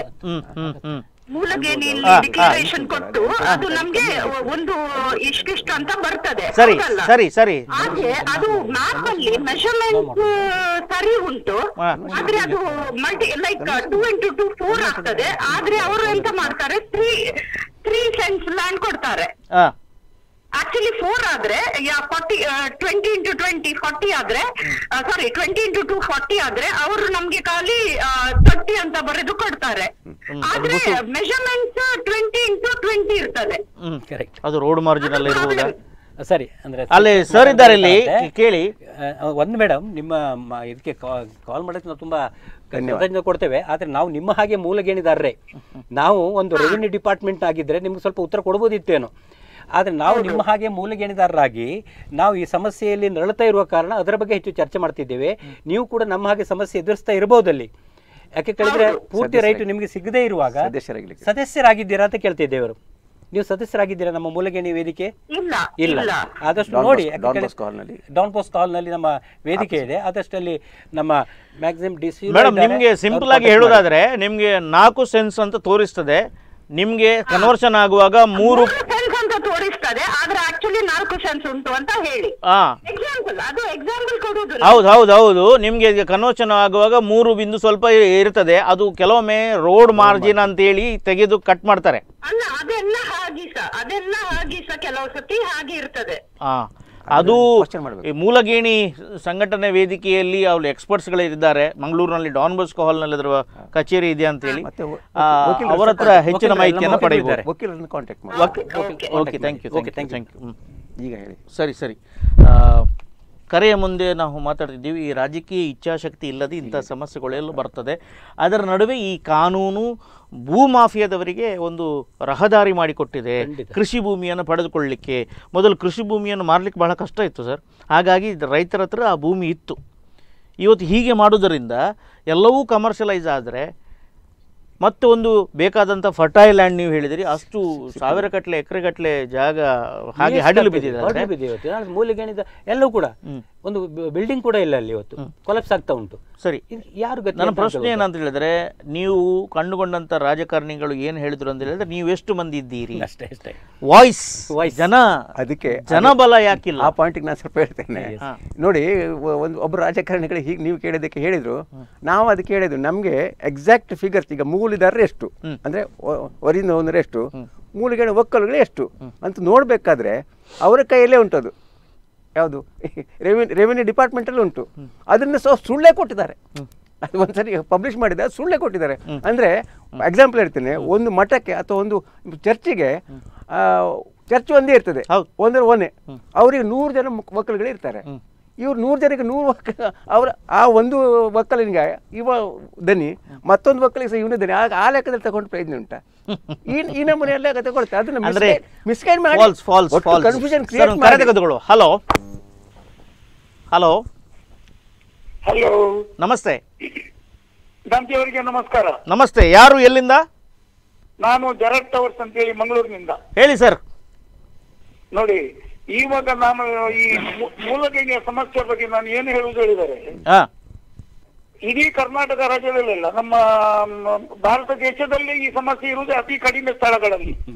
ಈ ಕೋಸ್ಟಲ್ ಕರಾವಳಿ ಬೆಳೆಸಿ ಬಿಟ್ಟು ಈಗ ನಾನು ಹೇಳುವುದೇನು ಹೇಳಿದರೆ ಈ ಸಮಸ್ಯೆ ಕರ್ನಾಟಕದ ಇತರ ಜಿಲ್ಲೆಗಳಲ್ಲಿ ಆಗಿದ್ದರೆ ಅಲ್ಲಿಯ ರಾಜಕೀಯ ಮುಖಂಡರು ಇಷ್ಟು ಡಿಲೇ ಮಾಡಿ ಜನರನ್ನು ಸಂಕಷ್ಟಕ್ಕೆ ಚಿಕಿತ್ಸೆ ಹಾಕೊಳ್ತಿರ್ಲಿಲ್ಲ. ಯಾಕಂದ್ರೆ ಅದೇ ಅದೇ ನಾ- ನಾವು ಕಳೆದ ನಲವತ್ತು ನಿಮಿಷದಿಂದ ಮಾತನಾಡೋದು ಅದೇ. ಈಗ ಕೇಂದ್ರದಲ್ಲಿಯೇ ಒಂದು ಸರ್ಕಾರ ರಾಜ್ಯದಲ್ಲಿ ಅದೇ ಸರ್ಕಾರ ಜಿಲ್ಲೆಯಲ್ಲಿ ಕೂಡ ಅದೇ ಸರ್ಕಾರ. ಯಾಕೆ ಆಗ್ತಾ ಇಲ್ಲ?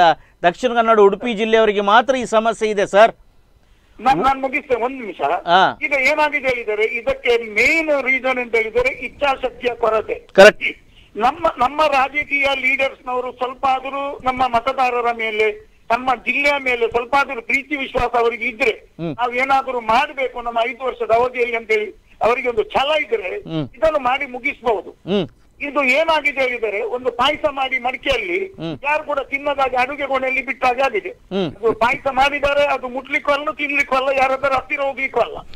ಸರಿ ಸಂಘಟನಾದ ಕಾರ್ಯದರ್ಶಿ ಮತ್ತು ಸದಸ್ಯರಿದ್ದಾರೆ. ಅವರು ಇದರ ಬಗ್ಗೆ ಸುಮಾರು ಹದಿನೆಂಟು ವರ್ಷಗಳಿಂದ ಹೋರಾಡ್ತಾರೆ. ಅವ್ರಿಗೇನಾದ್ರೂ ಹೇಳಲಿಕ್ಕೆ ಉಂಟಾ ಸರ್? ಅಲ್ಲಲ್ಲ ಈಗ ನಾನು ಅದೇ ಸಂಘಟನೆಯಲ್ಲಿ ಇದ್ದೇನೆ ಸರ್ ಹೇಳ್ತೇನೆ. ನಾನೀಗ ಹೆಚ್ಚು ಐ ಟಿ ಟಿವಿಯಲ್ಲಿ ಬಂದ ಕಾರಣ ನನಗೆ ಒಂದು ಖುಷಿ ಆಯ್ತು. ತಮ್ಮ ಟಿವಿಯ ಈ ಕಾರ್ಯಕ್ರಮದ ಮುಖಾಂತರ ಆದರೂ ನಮ್ಮ ಎಲ್ಲಾ ಶಾಸಕರಿಗೆ ಏನ್ ಹೇಳ್ತಾರೆ ಕನ್ನಡದಲ್ಲಿ ಒಂದು ಗಾದೆ ಇದೆ ಬಿಸಿಯಾಗದೆ ಬೆಣ್ಣೆ ಕರಗದಂತೇಳಿ ಈ ಕಾರ್ಯಕ್ರಮದ ಮುಖಾಂತರ ಆದರೂ ಈ ಬೆಣ್ಣೆ ಕರಗಿ ನಮ್ಮ ಕೆಲಸ ಬೇಗ ಆದಷ್ಟು ಬೇಗ ಆಗ್ಲಿ ಅಂತ ನಾನು ಹಾರೈಸುವುದು. Very good very good thank you sir thank you ಬೇರೆ ಬೇರೆ ಏನಿಲ್ಲ ಇದಕ್ಕೆ ಕಾರಣ ನಮ್ಮ ಎಂ ಎಲ್ ಎಗಳಿಗೆ ಇಚ್ಛಾಶಕ್ತಿ ಇದ್ರೆ ಸಾಕು ಅಷ್ಟೇ. ಎಂಪಿಗಳಿಗೂ ಕೂಡ ಬೇಕು. ಬೇಕು. ಹಾಸನದಲ್ಲಿ ಸರ್ ಮೋತಿಯಿಂದ ಹಿಡಿದು ಕೆಎಸ್ಆರ್ಟಿಸಿ ಡ್ರೈವರ್ ತನಕ ಎಲ್ಲರವರು ಎಂ ಎಲ್ ಎಂ ಪಿ ಅವರೇ ಅಪಾಯಿಂಟ್ ಮಾಡಿದಲ್ಲಿ ಹೌದೌದು. ಈ ನಮ್ದು ಈಗ ನಮ್ಮ ಮೂಲಗೇಣಿಗೋಸ್ಕರ ನಮ್ಮ ಎಂ ಎಲ್ ಎಂ ಪಿ ಅವರಿಗೆ ಏನ್ ಮಾಡ್ಲಿಕ್ಕೆ ಒಂದು ಇಚ್ಛಾಶಕ್ತಿ ಇಲ್ಲ ಅಂತ ಹೇಳುವಾಗ ಇದು ತಂದೆ ತಾಯಿಯವರು ತಮ್ಮ ಮಕ್ಕಳನ್ನು ಇದು ಇದು ಕೇರ್ಲೆಸ್ ಮಾಡಿದಾಗೆ ಸರಿ ಸರಿ. ನಮ್ಮೊಂದಿಗೆ ಮಾತನಾಡಿದಕ್ಕೆ ಮಾತನಾಡಿದ್ದಕ್ಕೆ ಮಾಹಿತಿ ಹಂಚಿದ್ದಕ್ಕೆ ಧನ್ಯವಾದಗಳು ಸರ್. ತುಂಬಾ ತುಂಬಾ ಚೆನ್ನಾಗಿ ಅವರು ಹೇಳಿದ್ರು. ಯಾಕೆ ಹೇಳಿ ಇನ್ನೊಂದು ಹೇಳ್ಬೇಕಾಗತ್ತೆ. ನಾವು ಶಾಸಕರ ಹತ್ರ ರಾಜಕಾರಣಿಗಳ ಹತ್ರ ನಾವು ಕೇಳುವಂತಹದ್ದು ನಮ್ಮನ್ನು ರಕ್ಷಣೆ ಮಾಡಬೇಡಿ ಭೂಮಿಯನ್ನು ರಕ್ಷಣೆ ಮಾಡಿ ಅಂತ. ಸ್ಟೇಟ್ಮೆಂಟ್ ಯಾಕೆ ಅದು ಯಾಕೆ ಕೇಳಿದ್ರೆ ನೀವು ನಮಗೆ ಸಹಾಯ ಮಾಡೋಲ್ಲ ಮಾಡೋದಿಲ್ಲ ಬೇಡ. ಆ ಭೂಮಿ ಇವತ್ತು ಪ್ರಯೋಜನಕ್ಕೆ ಬರ್ತಾ ಇಲ್ಲಲ್ಲ? ನಿಷ್ಪ್ರಯೋಜಕ ಭೂಮಿ ಆಗ್ತಾ ಇದೆಯಲ್ಲ? ಆ ಭೂಮಿಗೆ ಏನಾದರೂ ಒಂದು ಗತಿ ಕಾಣಿಸ್ಬೇಕೋ ಬೇಡವಾ? ಒಂದು ಈಗ ಯಾವತ್ತು ಕೇಳಿದ್ರೆ ನಾವು ಇವತ್ತು ಮೂಲಿದಾರರಿಂದ ನೇರವಾಗಿ ನಮ್ಗೆ ಕೊಡಿ ಅಂತ ನಾವು ಕೇಳ್ತಾ ಇಲ್ಲ. ನಾವು ಅವರ ಕೈಯಿಂದ ತಲೆಯಿಂದ ಕೈ ಕಸಿದು ತಗೊಳ್ತಾ ಇಲ್ಲ. ಒಂದು ನೆಗೋಸಿಯೇಷನ್ ಮಾಡಿ ನಾವು ರೀಸನೇಬಲ್ ರೇಟ್ ಆಫ್ ಇದು ಕೊಡ್ತೇವೆ ಪರಿಹಾರ ಕೊಡ್ತೇವೆ. ಯಾಕೆ ನಿಮ್ಗೆ ಗೊತ್ತು ಲ್ಯಾಂಡ್ ರಿಫಾರ್ಮ್ ಆಕ್ಟ್ ಬಂದಾಗ ಇಂದಿರಾ ಗಾಂಧಿ ತಂದಾಗ ಕೂಡ ಕೃಷಿ ಭೂಮಿಯನ್ನು ಓನರಿಗೆ ಓನರು ತನ್ನ ಟ್ಯಾಲೆಂಟ್ಗೆ ಕೊಡುವಾಗ ಕೂಡ ಪರಿಹಾರ ಕೊಟ್ಟರು ಸಮ್ ಸಮ್ ಅಮೌಂಟ್ ಏನೇ ಇರಲಿ. ಆ ಪರಿಹಾರದ ಮೊತ್ತ ಜಾಸ್ತಿ ಬೇಕು ಅಂತ ಒಳಗಿನಿಂದ ಆಗುತ್ತೆ. ಅಂದ್ರೆ ಅವ್ರು ಇವತ್ತಿನ ರೇಟ್ ಕೇಳಿದ್ರೆ ಹಾಗಾಗ್ತದೆ ಸ್ವಾಮಿ. ನಾವು ನೂರು ನೂರು ಇನ್ನೂರು ವರ್ಷಗಳಿಂದ ಅದನ್ನು ಕಾಪಾಡಿಕೊಂಡು ಎಲ್ಲೋ ಇದ್ದ ಬಿದ್ದ ಮನೆಗಳು ಕಟ್ಕೊಂಡು ಬಂದಿದ್ದೇವೆ. ಈಗ ನೀವು ಅಷ್ಟು ಪ್ರಮಾಣದ ಪರಿಹಾರ ಕೊಡಿ ಅಂತ ಹೇಳಿದ್ರೆ ಹಾಕೊಳ್ಲಿಕ್ಕೆ ಸಾಧ್ಯ ಸರ್ ಇನ್ನೊಂದು ಕರೆ ಇದೆ. ಹಲೋ ಅದ್ರ ಹಲೋ ಹಲೋ ಹಲೋ ಹಲೋ ಹೇಳಿ. ಸರ್ ನಮಸ್ಕಾರ. ನಮಸ್ತೆ. ನಾನು ಮ್ಯಾಕ್ಸಿಮ್ ಡಿಸಿಲ್ವಾ ಇದು ಅಂದರೆ ನಾನು ರಾಜಕೀಯ ಇಚ್ಛಾಶಕ್ತಿ ಬಗ್ಗೆ ಹೇಳುವುದೇನೆಂದ್ರೆ ನಾನು ಒಂದು ಮಾತು ಹೇಳ್ತೇನೆ ಸರ್. ಈ ಮೀಟಿಂಗ್ ನಮ್ಮ ಸಭೆಯಲ್ಲಿ ಮೀಟಿಂಗ್ ಈಗಾಗ ನಾವು ಎಲ್ಲರಿಗೆ ಯಾವ ರಾಜಕೀಯ ಪಕ್ಷ ಅಂದ್ರೆ ಎಲ್ಲ ರಾಜಕೀಯ ಪಕ್ಷದವರಿಗೆ ಕರೀತೇವೆ ನಮ್ಮ ಎಲ್ಲಾ ಮೀಟಿಂಗ್ನಲ್ಲಿ ಕರೆಯುವಾಗ ಅಲ್ಲ ಪಕ್ಷಗಳನ್ನು ಬದಿಗಿಡಿ ಜನಪ್ರತಿನಿಧಿಗಳು ಅಂದ್ರೆ ಎಲ್ಲರದ್ದು. ಅದೇ ಹೌದು ಜನಪ್ರತಿನಿಧಿಗಳು. ಆದ್ರೆ ಇದು ಈ ಮೀಟಿಂಗ್ ಮಾಡುವಾಗ ವಿರೋಧ ಪಕ್ಷದಲ್ಲಿದ್ದವರು ಆವಾಗ ಅಧಿಕಾರ ಇರುವುದಿಲ್ಲ. ಆವಾಗ ಏನು ಹೇಳ್ತಾರೆ ನಾವು ಅಧಿಕಾರಕ್ಕೆ ಬಂದ್ರೆ ನಾವು ಎಲ್ಲ ಅದನ್ನು ವಿದಿನ್ ವಿದಿನ್ ಡೇಸ್ ಮುಗಿಸ್ತೇವೆ ಅಂತ. ಇದೇ ಎಕ್ಸಾಂಪಲ್ ಉಂಟು. ನಾನು ಈ ಬಿಜೆಪಿ ಪಕ್ಷದ ವಿರೋಧ ಪಕ್ಷದವರು ಹೇಳಿದ ಮಾತನ್ನು ನಾನು ನಿಮ್ಗೆ ಹೇಳ್ತೇನೆ. ಅವರೇ ಈಗ ಉಸ್ತುವಾರಿ ಸಚಿವರಾಗಿದ್ದಾರೆ. ಆದರೆ ಸಚಿವರಾಗಿ ಅವರು ಈಗ ಅವರು ಉಸ್ತುವಾರಿ ಸಚಿವರ ಅವರಿಗೆ ಮನವಿ ಕೊಟ್ಟಿದ್ದೇವೆ. ಆದರೆ ಇಷ್ಟರವರೆಗೆ ನಮಗೆ ಒಂದು ಈ ಸಮಸ್ಯೆಗೆ ಪರಿಹಾರ ಸಿಗಲಿಲ್ಲ. ಅಲ್ಲ ಅವರಿಗೆ ಇಚ್ಛಾಶಕ್ತಿ ಇಲ್ಲ ಇಲ್ಲದ್ರೆ ನಮ್ಮ ರಾಷ್ಟ್ರೀಯ ಹೆದ್ದಾರಿ ಅಂದ್ರೆ ದೋಣಿಯಲ್ಲಿ ಹೋಗುವಂತ ಪರಿಸ್ಥಿತಿ ಬಂದಿದೆ ಸರ್. ಎಷ್ಟು ವರ್ಷ ಆಯ್ತು? ಸರ್ ವಿರೋಧ ಪಕ್ಷದಲ್ಲಿ ಇರುವಾಗ ಅವರು ಮಾತು ಕೊಡ್ತಾರೆ. ನಾನು ಮಾಡ್ತೇನೆ ಈ ಕೆಲಸ ಅಂತ. ಅದು ಹಾಗೆ. ಅಧಿಕಾರ ಬಂದ ಮೇಲೆ ಮರೆತು ಬಿಡ್ತಾರಲ್ಲ? ಅಧಿಕಾರ ಬಂದ ಮೇಲೆ ಅವರಿಗೆ ಇದರ ಬಗ್ಗೆ ಗೊತ್ತಿಲ್ಲ. ಅಂದ್ರೆ ಒಂದು ನಾವು ಆಯ್ತು ಮಾಡ್ತೇವೆ ಮಾಡ್ತೇವೆ. ಅದೇ ಅದೇ ಅದೇ ಅದೇ ಇನ್ಫಾರ್ಮೇಶನ್ ಕೊಡುವುದು ಅವರು ಅಷ್ಟೇ. ಸರಿ ಸರಿ ಸರಿ ಸರಿ. ರಾಜಕೀಯ ಇಚ್ಛಾಶಕ್ತಿ. ಧನ್ಯವಾದ ಧನ್ಯವಾದ. ಸರಿ ತಾವು ಅವರು ಏನು ಹೇಳಲಿಕ್ಕೆ ಇಷ್ಟಪಡ್ತಿದ್ರು? ಇದೀಗ ಮೂಲದಾರರಿಗೆ ಅಂದರೆ ಸೋಕಾಲ್ಡ್ ಅವರಿಗೆ what is their right on the land ಅದು ಎಲ್ಲಿಯಾದರೂ ಸ್ಪೆಸಿಫಿಕ್ ಆಗಿಲ್ಲ. ನಾವೀಗ ನಾನು ಕೆಲವು ವಕೀಲರ ಹತ್ರ ಅವ್ರ ಹತ್ರ ಇವ್ರು ಮತ್ತೆ ರಿಟೈರ್ಡ್ ತಹಶೀಲ್ದಾರ್ ಅವ್ರ ಹತ್ರ ಎಲ್ಲ ಮತ್ತೆ ರಿಜಿಸ್ಟರ್ ಹತ್ರ ಅವೆಲ್ಲ ಕನ್ಸರ್ನ್ ಮಾಡಿದೆ. ಈಸ್ ದರ್ ಎನಿ ಇದು ಬ್ಲ್ಯಾಕ್ ಆ್ಯಂಡ್ ವೈಟ್ ಯಾವ್ದಂದ್ರೆ ಅವ್ರ ಹಕ್ಕೇನದ್ರಲ್ಲಿ ಅಂತೇಳಿ. ಎಷ್ಟು ಇಲ್ಲದೇ ಇಲ್ಲದೆ ಇರುವಾಗ ಇವ್ರು ಬಾಯಿಗೆ ಬಂದಾಗ ಮೂಲದಾರ ನಮ್ಗೆ ಒನ್ ಫೋರ್ತ್ ಕೊಡಿ ಒನ್ ಥರ್ಡ್ ಕೊಡಿ ಅಂತ ಕೇಳಿದ ಅರ್ಥ ಉಂಟು ಒಂದು. ಮತ್ತೆ ನನ್ನ ಎಕ್ಸಾಂಪಲ್ ಹೇಳ್ತೇನೆ. ನಾನು ನಾನಿರುವ ಮನೆ ಮೂ ಹಣ ಕೊಟ್ಟು ಆ್ಯಸ್ ಎ ಜನರಲ್ ಪೂಲ್ನಲ್ಲಿ ಹಣ ಕೊಟ್ಟು ಪರ್ಚೇಸ್ ಮಾಡಿದ ಲ್ಯಾಂಡ್ ಈಗ ಅದಕ್ಕೆ ಮೂಲಿದಾರರು ಅದನ್ನು ಸರಿ ಮಾಡ್ಬೇಕಾದ್ರೆ ನೀವು ನನಗೆ ಇಷ್ಟು ಪರ್ಸೆಂಟೇಜ್ ಕೊಡಿ ಅಂತೇಳಿ ಲ್ಯಾಂಡ್ ಇದು ಮಾರ್ಕೆಟ್ ವ್ಯಾಲ್ಯೂನಲ್ಲಿ ಇದು ಕೊಡಿ ಅಂತೇಳಿ ಅರ್ಥ ಉಂಟಾ? ಮತ್ತೆ ಅವ್ರಿಗೆ ಅದ್ರ ಹಕ್ಕೇ ಇಲ್ಲ ಕೇಳಲಿಕ್ಕೆ. ಅವ್ರಿಗೆ ಇರೋದು ಏನು ಗೊತ್ತುಂಟಾ? ನೀವು ವರ್ಷದಲ್ಲಿ ಎಷ್ಟು ಮೂಲಿಗೆ ಕೊಡ್ತೀರಿ? ಅದನ್ನು ನೀವು ಪ್ರಾಂಪ್ಟ್ ಆಗಿ ಕೊಡಿ. ಅದಕ್ಕೆ ಮತ್ತೆ ಟೈಮ್ ಲಿಮಿಟೇಷನ್ ಆ್ಯಕ್ಟ್ ಉಂಟು ಬೇರೆ ಬೇರೆ ಉಂಟು. ಅದು ಎಷ್ಟು ವರ್ಷ ಆದ್ಮೇಲೆ ಕೇಳಿದ್ರೆ ಅದು ತನ್ನಷ್ಟಕ್ಕೆ ಬಿದ್ದೋಗ್ತದೆ. ಇದೆಲ್ಲ ಅವರಿಗೆ ಗೊತ್ತುಂಟು. ಈಗ ಏನು ಗೊತ್ತುಂಟು ಇದನ್ನ? ಯಾರಾದರೂ ಅರ್ಜೆಂಟ್ ಇದ್ದವರು ಯಾರು ಒಬ್ಬರು ತಕೊಳ್ಳಿಕ್ಕಿದ್ರೆ ಮಾಡ್ಲಿ. ಅವ್ರು ಅಲ್ಲಿ ಎನ್ ಒ ಸಿಗೆ ಹೋಗೋಕ್ಕೆ ಹೋಗ್ತಾರೆ. ಆಗ ನನಗೆ ಎಷ್ಟು ಕೊಡಿ? ಅವ್ರು ಸಾವಿರ ಕೇಳಿದ್ರೆ ಐನೂರಾದ್ರೂ ಸಿಗ್ತದೆ ಇನ್ನೂರಾದ್ರೂ ಸಿಗ್ತದೆ ನೂರಾದ್ರೂ ಸಿಗ್ತದೆ. ಅದಕ್ಕೋಸ್ಕರ ಕಾಯ್ತಾ ಇದ್ದೆ. ಅದಕ್ಕೆ ಅದು ನಾವು ನಮಗೆ ಟೈಟಲ್ಗೋಸ್ಕರ ಮಾತ್ರ ಹೋರಾಡಿಸುವೆ ಮತ್ತು ನಮಗೆ ಏನು ಮಾಡಲಿಕ್ಕೂ ಆಗೋದಿಲ್ಲ ಅವರಿಗೆ. ಸರಿ ನೀವು ಪೊಲಿಟಿಕಲ್ ಸೈನ್ಸ್ ಪ್ರೊಫೆಸರ್ ಮೂಲಭೂತ ಹಕ್ಕಿನಲ್ಲಿ ಒಂದು ಹಕ್ಕಿತ್ತು ಆಸ್ತಿ ಹಕ್ಕು ಅಂತೇಳಿ. ಅದು ತೆಗೆದು ಹಾಕಿದರೆ ಹೆಚ್ಚು ಜನರಿಗೆ ಗೊತ್ತಿಲ್ಲ. ಈ ರೈಲ್ವೆ ಆಗುವಾಗ ಅಥವಾ ರೋಡ್ ಆಗುವಾಗ ಅಥವಾ ಫ್ಯಾಕ್ಟರಿ ಆಗುವಾಗ ಸರ್ಕಾರ ಪಡೆದುಕೊಳ್ಳಬಹುದು ಮತ್ತು ಅವರು ಕೊಟ್ಟಂತ ಕಂಪೆನ್ಸೇಷನ್ ಅನ್ನು ಪಡೆದುಕೊಳ್ಳಬೇಕು. ಆದ್ರೆ ಇಲ್ಲಿ ಯಾಕೆ ಅವರು ಕೊಟ್ಟದ್ದು ಆಗುದಿಲ್ಲ ಅಂತ ಕೇಳುದು ಅದು ಇವ್ರು ಕೇಳಬೇಕು. ಯಾರು? ಪೊಲಿಟಿಷಿಯನ್ ಕೇಳಬೇಕು ಇವ್ರಿಗೆ. ಹೌದು. ಬಂದಿತ್ತು. ಅವ್ನು ಸರ್ಕಾರ ನಿಗದಿಪಡಿಸಿದೆಲ್ಲ ಮಾಡಬೇಕು ಅದು ಮಾಡ್ಬೇಕಿತ್ತು. ಆದ್ರೆ ಅದಕ್ಕೂ ತಯಾರಿಲ್ಲ. ನೋಡಿ ಸರಿ. ಕರೆ ಇದೆ. ಹಲೋ. ಹಲೋ. ಹಲೋ? ಹೇಳಿ. ಹಲೋ ಅಲ್ರಿ ನಮ್ಮ ನಮ್ಮ ನಮಸ್ಕಾರ. ನಮಸ್ಕಾರ. ಯಾರು? ಆ, ನಾನು ಜು- ಜೂಲಿಯನ್ ಅಂತ ಮಾತನಾಡ್ತೇನೆ. ಹೇಳಿ ಮಾಡಿ ಹೇಳಿ ಮೇಡಮ್. ಆ, ಏನ್ ಗೊತ್ತುಂಟ ಈಗ ಇ- ಇವರಿ ಇಬ್ಬರಿಗೆ ಸಹ ನಮಸ್ಕಾರ ಸದಸ್ಯರಿಗೆ ನಮಸ್ಕಾರ ಆ, ಹೆಸರು ಕಾಣಿಸ್ತಾ ಇಲ್ಲ. ಅಷ್ಟೊಂದು. ಹೆಸರು ಒಬ್ರು ಶೆಟ್ರು ಒಬ್ರು ಶೇಟ್.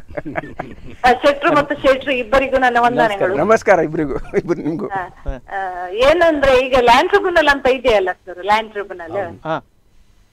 ಅದು ಅದ್ರ ಕೇಸ್ ನಮ್ಮದೊಂದು ಕೇಸ್ ಒಂದು ಮೂವತ್ತು ನಲ್ವತ್ತು ಅಪ್ಪ ಹೋಗಿ ಈಗ ಮಗನಿಗೆ ಹೋಗಿ ಈಗ ನನ್ನ ಅಣ್ಣನಿಗೆ ಏಜ್ ಆಗ್ತಾ ಬಂತು. ನಲ್ವತ್ತು ವರ್ಷದಿಂದ ಲ್ಯಾಂಡ್ ಟ್ರಿಬ್ಯುನಲ್ ಅಲ್ಲಿದ್ದೆ ಕೇಸ್ ಇತ್ಯರ್ಥನೆ ಮಾಡುದಿಲ್ಲ. ಯಾಕೆ ಅಂತ? ಟ್ರಿಬ್ಯುನಲ್ ಅಂದ್ರೆ ಅದು ಲ್ಯಾಂಡ್ ಟ್ರಿಬ್ಯುನಲ್ನ ಸಮಸ್ಯೆ ಅದು. ನಾವು ಇಲ್ಲಿ ಮೂಲಗೇಣಿ ಬಗ್ಗೆನೇ ಇತ್ತ ಮಾಡ್ತೇವೆ. ಅಲ್ಲ ಏನ್ ಗೊತ್ತಂತ ನಮ್ಗೆ ಮೂಲಗೇಣಿಯಲ್ಲಿ ಒಂದು ಜಾಗ ಸಿಕ್ಕಿದ್ದು. ನಮ್ ತಂದೆ ಒಂದು ಮನೆ ಕಟ್ಟಿ ಅದನ್ನು ರೆಂಟಿಗೆ ಕೊಟ್ಟಿದ್ರು. ಮೂಲಗೇಣಿ ನಿಮ್ದು? ಆ, ನಾ ಕಟ್ಪಾಡಿ ಅಲ್ಲ ಮೂಲಗೇಣಿ ಸಮೇತ ನಿಮ್ದು ಜಾಗ? ಹಾ ಮುಲ್ಗಿನದು ಸಿಕ್ಕಿದೆ ಅದು ಕ್ಲಿಯರ್ ಆಗಿದೆ ಅಲ್ಲ. ಕ್ಲಿಯರ್ ಆಗಿದೆ. ಹೌದು ಮತ್ತೆ ಅದರಲ್ಲಿ ನನ್ನ ತಂದೆ ನನ್ನ ಅಪ್ಪ ಅಂದ್ರೆ ಒಂದು ತರ್ಟಿ ಒಂದು ಫಾರ್ಟಿ ಫೈವ್ ಇಯರ್ಸ್ ಹಿಂದೆ ಒಂದು ಮನೆ ಕಟ್ಟಿ ಬಾಡಿಗೆಗೆ ಕೊಟ್ಟಿದ್ರು. ಅದಂದ್ರೆ ಅವರು ಹಾಗೆ ಇಂದಿರಾ ಗಾಂಧಿ ಕಾನೂನು ಬಂತಲ್ಲ ಉಳುವನೆ ಹಾಗೆ ಅವರು ಡೆಕ್ಲೇಷನ್ ಕೊಟ್ರು. ಡೆಕ್ಲೇಷನ್ ಕೊಟ್ಟ ನಂತರ ಪುನಃ ಟ್ರಿಬ್ಯುನಲ್ ಅಲ್ಲಿ ನಮ್ಗೆ ಇಚ್ಛರ್ತಾ ಇತ್ತು ಅದು ಮನೆ ಬಿಡ್ಬೇಕು ನನ್ನ ತಂದೆ ಕಟ್ಟಿ ಬಾ- ಕಟ್ಟಿ ಹೊಸ್ತು ಕಟ್ಟಿ ಬಾಡಿಗೆ ಕೊಟ್ಟದ್ದು. ಈಗ ಅವರಿಗೆ ಬೇರೆ ಮನೆ ಎಲ್ಲ ಇತ್ತು. ಇನ್ನು ಸಹ ಅದು ಒಂದು ಟ್ರಿಬಲ್ನಿಂದ ಇತ್ಯರ್ಥ ಮಾಡೋದಿಲ್ಲ. ಎಷ್ಟು ಕೇಸಿಗೆ ಹಣ ಹಾಕಿ ಹಾಕಿ ಹಾಕಿ ನನ್ನ ಅಪ್ಪ ಅಂತೂ ಹೋದ್ವಿ ಹೋದ್ರು. ಈಗ ನನ್ನ ಇದಕ್ಕೆ ಆಗಿದೆ. ಈಗ ಅವರು ಹಣ ಡಿಮಾಂಡ್ ಮಾಡೋದು ಪಾರ್ಟಿ ಮೇಡಮ್ ನಿಮ್ಮ ಜಾಗ ಯಾವ ಕಡೆಗೆ ಬರುತ್ತೆ? ಅಂದ್ರೆ ನಗರಸಭೆಯ ಪಂಚಾಯತ್ ಅದಕ್ಕೆ ಸಂಬಂಧ ಪಂಚಾಯತ್ ಹಾ ಅದಕ್ಕೆ ಸಂಬಂಧಪಟ್ಟಂತೆ ಕಾನೂನುಗಳು ಬೇರೆ ಬೇರೆ ಆಗಿವೆ ಸೊ ಅಲ್ಲಿ ಏನೋ ಎಡವಟ್ಟಾಗಿದೆ ತಾವು ಅಲ್ಲಿ ಅದನ್ನು ನೋಡ್ಕೊಳ್ಬೇಕಾಗತ್ತೆ.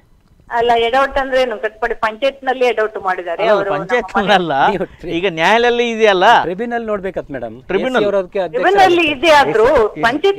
ಮಿಸ್ಟೇಕ್ ಮಾಡಿದ್ದಾರೆ. ಎ ಸಿ ಕೋರ್ಟ್ನಲ್ಲಿ ಇದೆ ಮೋಸ್ಟ್ಲಿ ಹ್ಮ್.